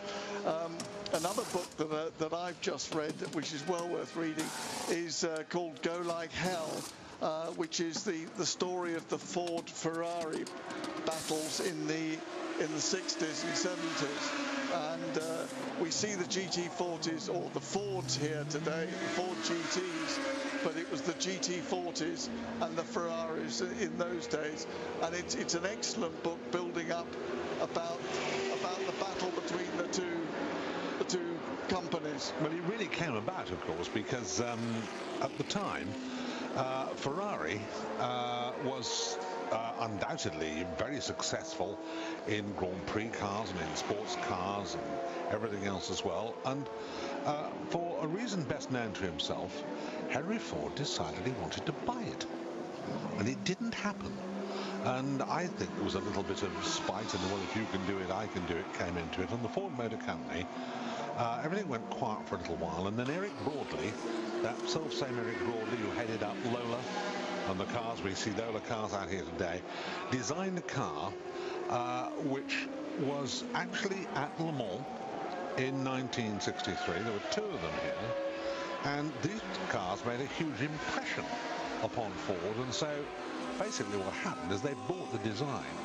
And at this point in time, this I thought was the amazing thing. We watched actually two very, very uh, interesting little battles going on there. Um, and just break away from that for a moment too. Uh, that's, the, that's the recovering Audi of Christophe Bouchut, one Yeah. of the two Kolles cars. Now that was up well up into the top 10 and is now slumped down into 14th place, just coming out of the pits. And uh, in the pits at the moment is our race leader. So Stefan Sarrazin receiving service, stays in.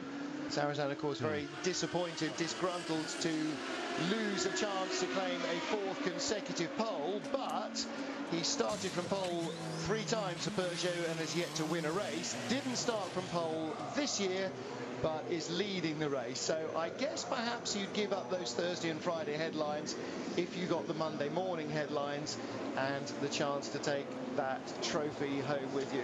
Take a quick commercial break here and we'll be back live from Le Mans in just a second. Stay with us.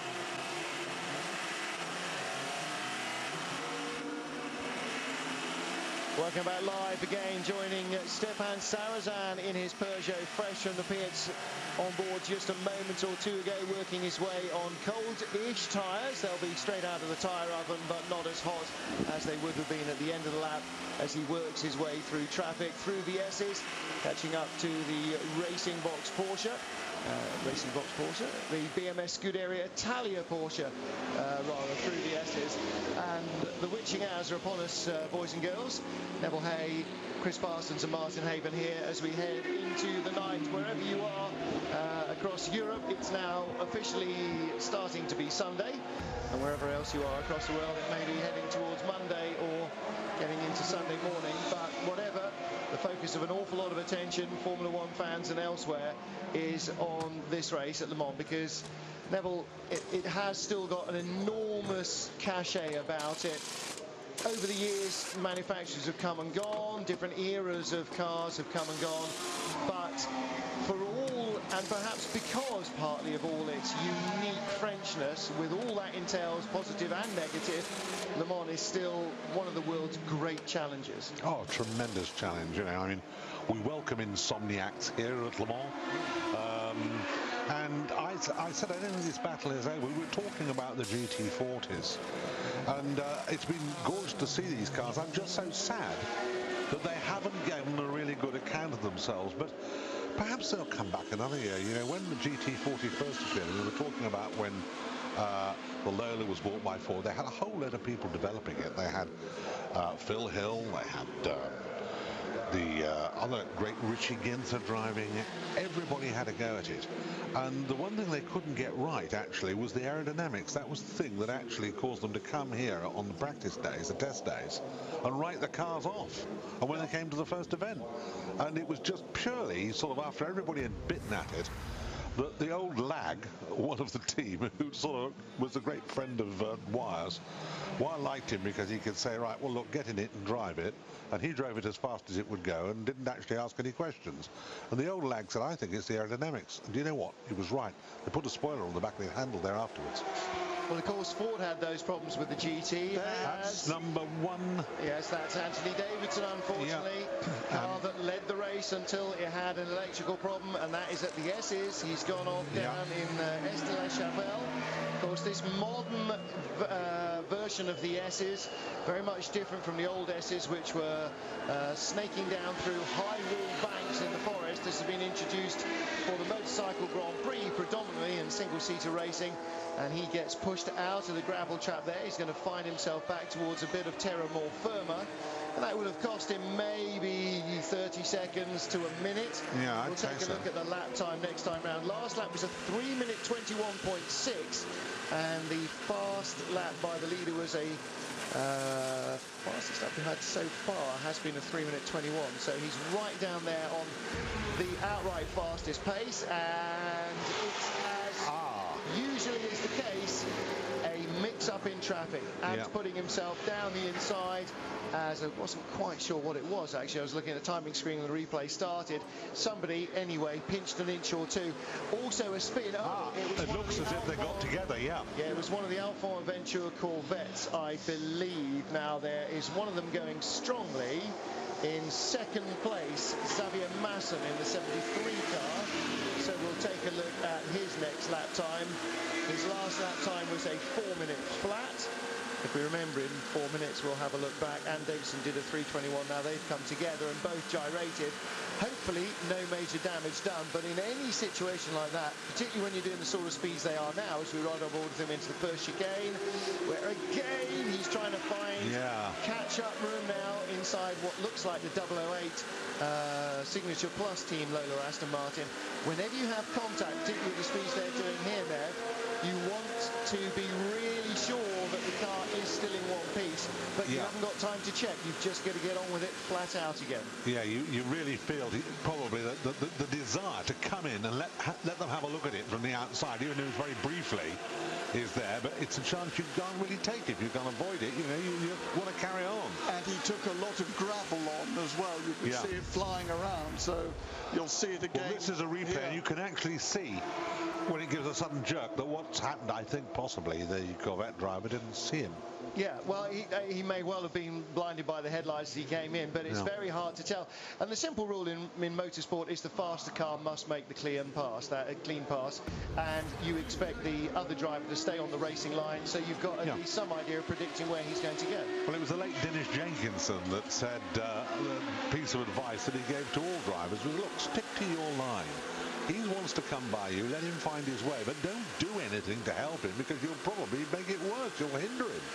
Well, we saw that early in the race where Andy Priaulx tried to give a little bit more room to uh, Allan McNish in the number seven Audi as they got into the Ford curves, uh, Porsche curves rather, and uh, unfortunately.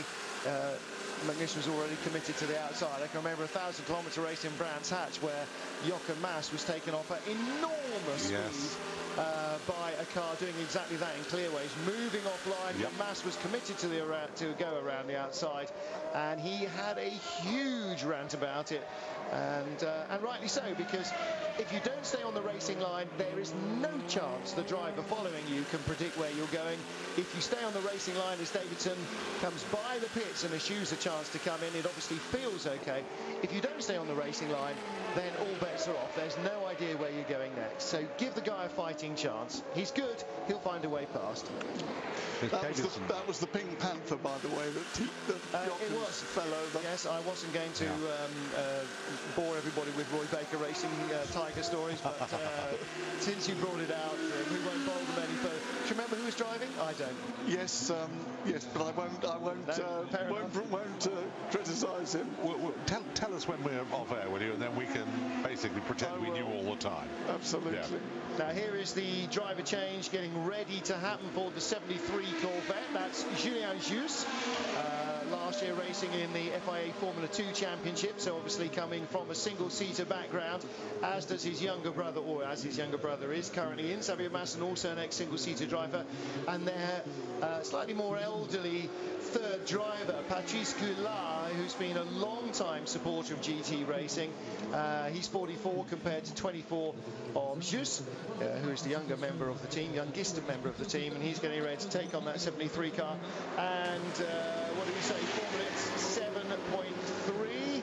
Oh, and we've got another car off, car number 63 in the gravel traps. That's the Corvette of Jan Magnussen, Johnny O'Connell, Antonio Garcia, our GT2 class second place car. And post 96, which is nine kilometres into the lap. Oh, that's the fast. No, that's the slow left-hander at uh, Indianapolis. I was trying to work out where it was, yeah. My map tells me. Yeah. Dane, uh, sad, sadly, uh, if I remember rightly, Mr. Magnussen's son has started racing, hasn't he? Oh, yes, he has. Kevin. It was quite worrying, that, you know. And very well, yes. Yeah. Kevin seems to be equally adept in throwing a single seat around as the old, well, it's not fair to call Jan Magnussen an old man yet, even though he is a father. Uh, 36, no, I don't think that qualifies as old. No, So, no, young Kevin Magnussen, still 16, very, very capable indeed, it seems. Very short Grand Prix career for Jan Magnussen. I think basically the atmosphere uh, that surrounds Grand Prix racing didn't suit him very well. Uh, he looked to be having the right place, the right time, but it all fell over for him, didn't it, Martin? Yes, I think he was quick enough. I just think it just did his head in, and he was either too young for it or just actually wasn't the kind of guy that will deal with it. However, he has con- continued to carve himself a very successful racing career in sports cars and uh, a, a real linchpin now in this Corvette program. However, they were running first and second, the two Corvettes. They were about two minutes apart. In fact, Johnny O'Connell in the car, in the gravel, still in the gravel, we believe, and up to third place now in the GT2 class has come the lead Porsche. This is the 77 Felbermayr Porsche, the blue car driven by Marc Lieb uh, and Wolf Henzler and Richard Lietz. So no even uh, pretense of having a Felbermayr or uh, Gerold and Christian Ried that Proton used to run aboard the car. Felbermayrs are in the other car. The three factory drivers are in the 77 car. That's now up to third place. Car 63 has rejoined. And maybe now at half past one, let's just have a quick scoot down the order. If you want to find what the times and positions are yourself, and particularly if we haven't referred to your favourite car for some while, uh, either A, because we've forgotten to, or B, because it's retired, you can go to lemans.org on your laptop or your computer and have a look at their timing and scoring. That'll tell you everything. So our overall leader is Stefan Sarrazin from Nicolas Lapierre, Peugeot's first and second. Audi, Timo Bernhard and Marcel Fässler and Tom Kristensen. They are third, fourth and fifth. Peugeot, Anthony Davidson, sixth after his recent excursion. The two Lola Astons, as was. Adrian Fernandez still driving ahead of Sam Hancock, 007 and 009, they're seventh and eighth. Rounding out the top 10, Christijan Albers in the older Kolles Audi, the R10 TDI. He's in ninth, and Soheil Ayari in car number six. Uwe Schonag's Oreca prototype, the open car rather than the Peugeot closed car. That lies in 10th place. And we'll take a quick commercial break and round up the rest of the classes on the other side of this word. Welcome back live to Le Mans as you see the second car in the GT car, uh, GT2 class, uh, GT1 class even, having a uh, routine pit stop. This is the Alphand Aventures Corvette car number 73, which was driven earlier by Xavier Maassen when it had an unintentional collision. Uh, I think it was that car with the number one Peugeot. Now Julien Jousse has taken it over joined Luc Alphand's team earlier this year at the beginning of the Le Mans Series program and uh, turning into quite an entertaining young sports car peddler as well. We've covered the overall top 10 just a minute or two ago and that all includes the LMP1 cars. This is the number one machine of Anthony Davidson, so he was obviously pretty much due a stop when he had his incident a couple of laps ago. Didn't bother coming in because he knew he was coming in anyway. Torches, as you would expect, examining everything. Car looks okay. Anthony staying in and just receiving fuel. Tyres there on the far side of the car as we look at it now, just in case. And that is the sign of the impact there below the P1 label with what we, uh, what I'm sure was that 73 Yeah. Corvette in the GT2 class. So our leader goes out. There is Anthony Davidson sharing with Marc Gené and Alexander Wurz. Average height of the team is about five foot eight. 'Cause Except for Alexander- Wurz. Well, because exactly no, only because Alexander Wurz is about six foot three. Yeah. Ant Davidson's about five foot oh, and Marc Gené is about average racing driver height as opposed to petite racing driver height, which Davidson is. And how Davidson gets in off the back of Wurz without having a massive seat insert, Lord only knows. But uh, Amazing. He's out and back up to speed, and again, as you have to in this race, showing ultimate commitment right from the moment he gets out of the pit lane and right back up to speed. I So feel rather sad actually that his Formula One career has not taken off again in any way because uh, if you looked at his testing times when he was with Honda, he was very, very much on the pace. And I think that uh, the newer teams, the three new teams, made a serious error in not getting him because he is such a good sorter of cars. There's a big difference actually uh, that's becoming more and more prevalent uh, now in Formula One and in sports cars as well, where everything is done with the computer and you put it all in and that's fine and that's what it says. And then the driver says, no, it doesn't actually do that. Well, the problem is if you've got a new car with new designers and new engineers and a whole new program, and you put in a driver who doesn't know what a good Formula One car feels like, you're never going to get the feedback that tells you when the Formula One car is good. Exactly. It's just going to be whatever it is, and he's Yeah. just going to drive it as quickly as he can. If you then rent somebody who does know what good feels like, you end up getting gu- guided in the same, in, in the correct direction. We see that time and time again in single-seater championships where midfield at best teams hire a decent driver and then he tells them when they're in the sweet spot and suddenly they end up winning races and being right up the sharp end of the grid at elevated levels that they would never otherwise have attained and yeah it is a shame uh, for Anthony that he hasn't been picked up long before now and unfortunately a lot of the teams have missed out. Yeah, but then is that not um, sports sports car game to have got someone like uh, Anthony Davidson? I think to have him with a team like um, Peugeot, yes. Absolutely. Um, it is sports cars gain, and I think that that probably is going to mean that, for want of a better word, if you look at the fact that Allan McNish is uh, life's begun for him this year, you know.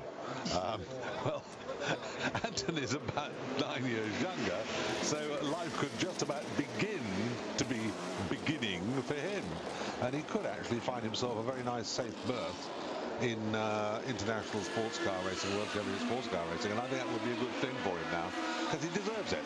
Yeah, and, and actually, Anthony, um, comparing him to Allan McNish, I think is a, is a probably decent uh, comparison because Allan certainly used success in sports cars to regenerate a career in single seat, well, a, a career that in single seat has had sort of ground to a, a fairly uh, disappointing halt for him. He picked up a good ride in. Uh, in sports cars, ended up being a Porsche factory driver, ended up winning Le Mans, and then by dint of being one of the best sports car drivers in the business, ended up being attracted by, uh, or Toyota ended up being attracted to him and giving him a run in their Formula One car. Okay, didn't end up with him then conquering the dizzying heights of Formula One, but there's an awful lot of drivers that have been into Formula One and come out the other end and haven't got anything on their CV even ro- remotely as interesting as one Le Mans win, never mind a series of Le Mans wins. So, yeah, Allan didn't end up being the Formula One world champion, but he's done something that uh, not very many people get to do either, which is become a multiple Le Mans winner. In relation to what you were saying and uh, being a member of, of a team,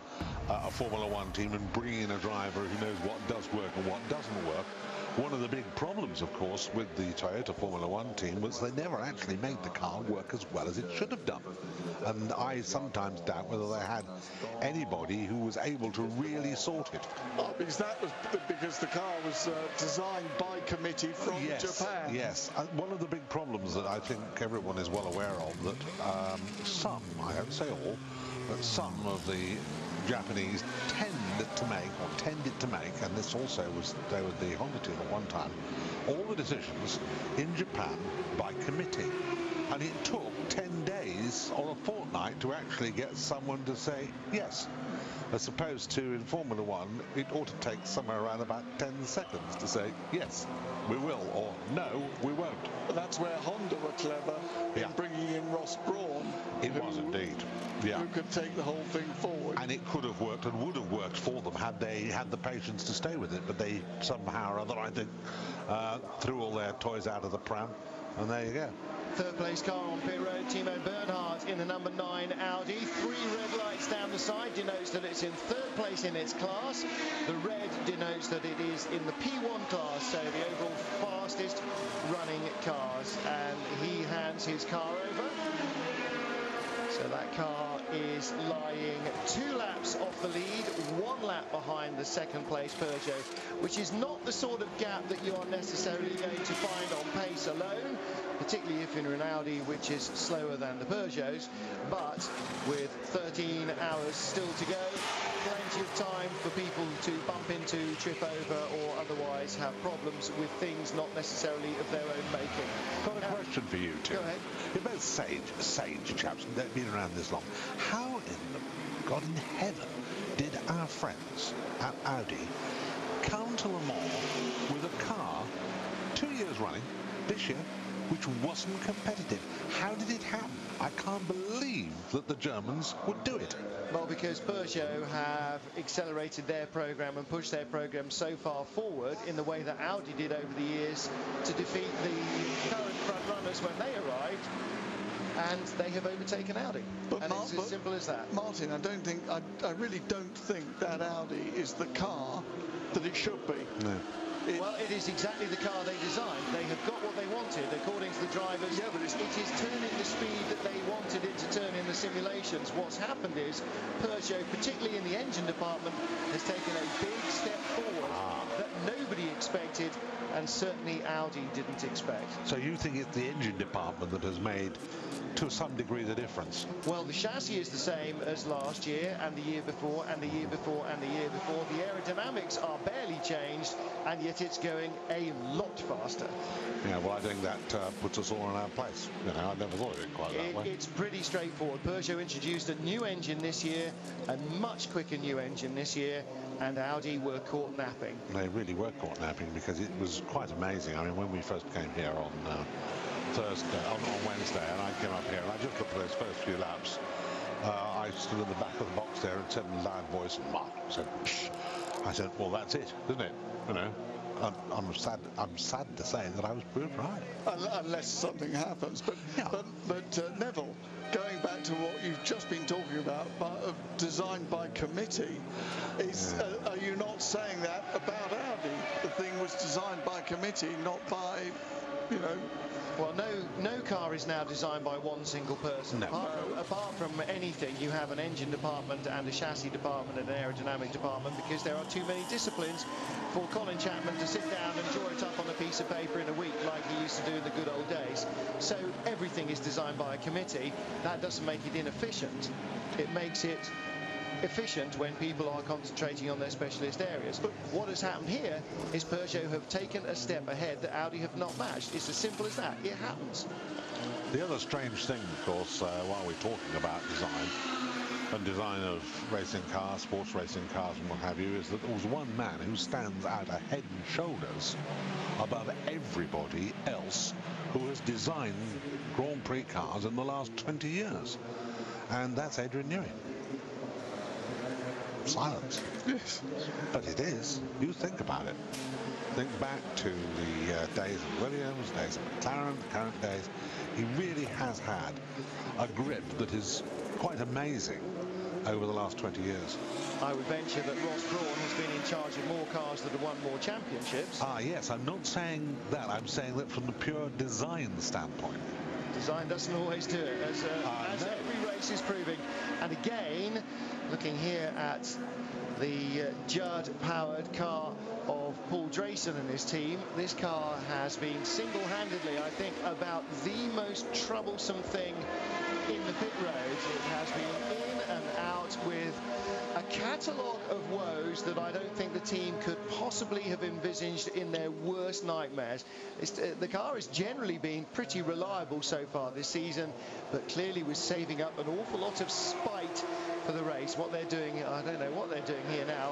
Looks like they're recompressing an air system of some kind, unless they're filling up a drink system. That took an awful long time.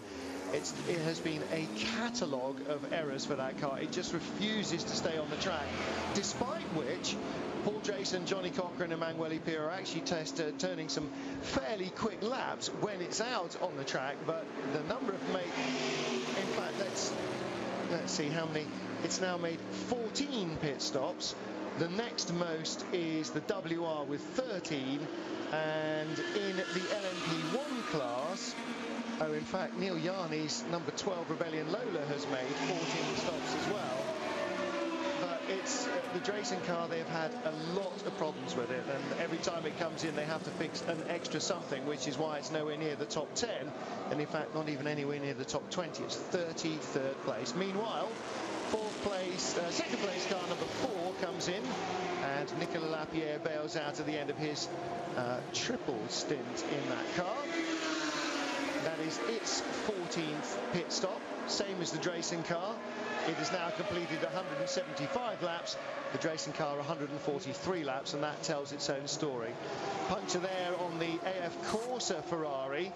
Now, we may well be in for a bit of a rash of GT pit stops, or uh, either that or this may be out of sequence. If he's lucky, it will have come when he was planning to come into the pits anyway.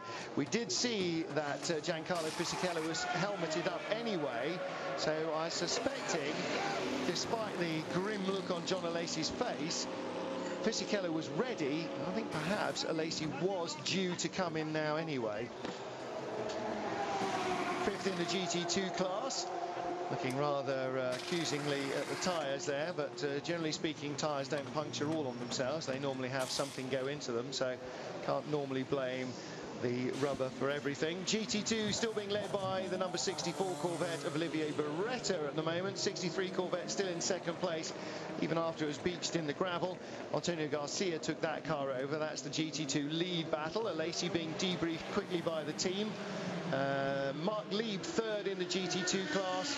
Fourth is Raymond Narac. They're both in Porsche. 77 is the first of the Felbermayr Proton cars. 76 Raymond Narac in the IMSA Matmut performance car. In fifth in the GT2 class is Horst Farnbacher, senior or junior, I'm not sure, scoring doesn't tell us. In their 89 car, the Hankook Ferrari, uh, sorry, Dominik Farnbacher that uh, he shares with Allan Simonsen and Leh Keen. And finally, sixth in the class is the BMW, the 78 car, the white BMW. Augusto Farfus currently at the wheel of the car. He shares with Jörg Müller and Uwe Alzen. And that's starting to shake off its problems and make some progress up the order now in the sixth place ahead of Richard Westbrook in the 97 BMS Scuderia Italia Porsche. We'll be back with more from Le Mans in just a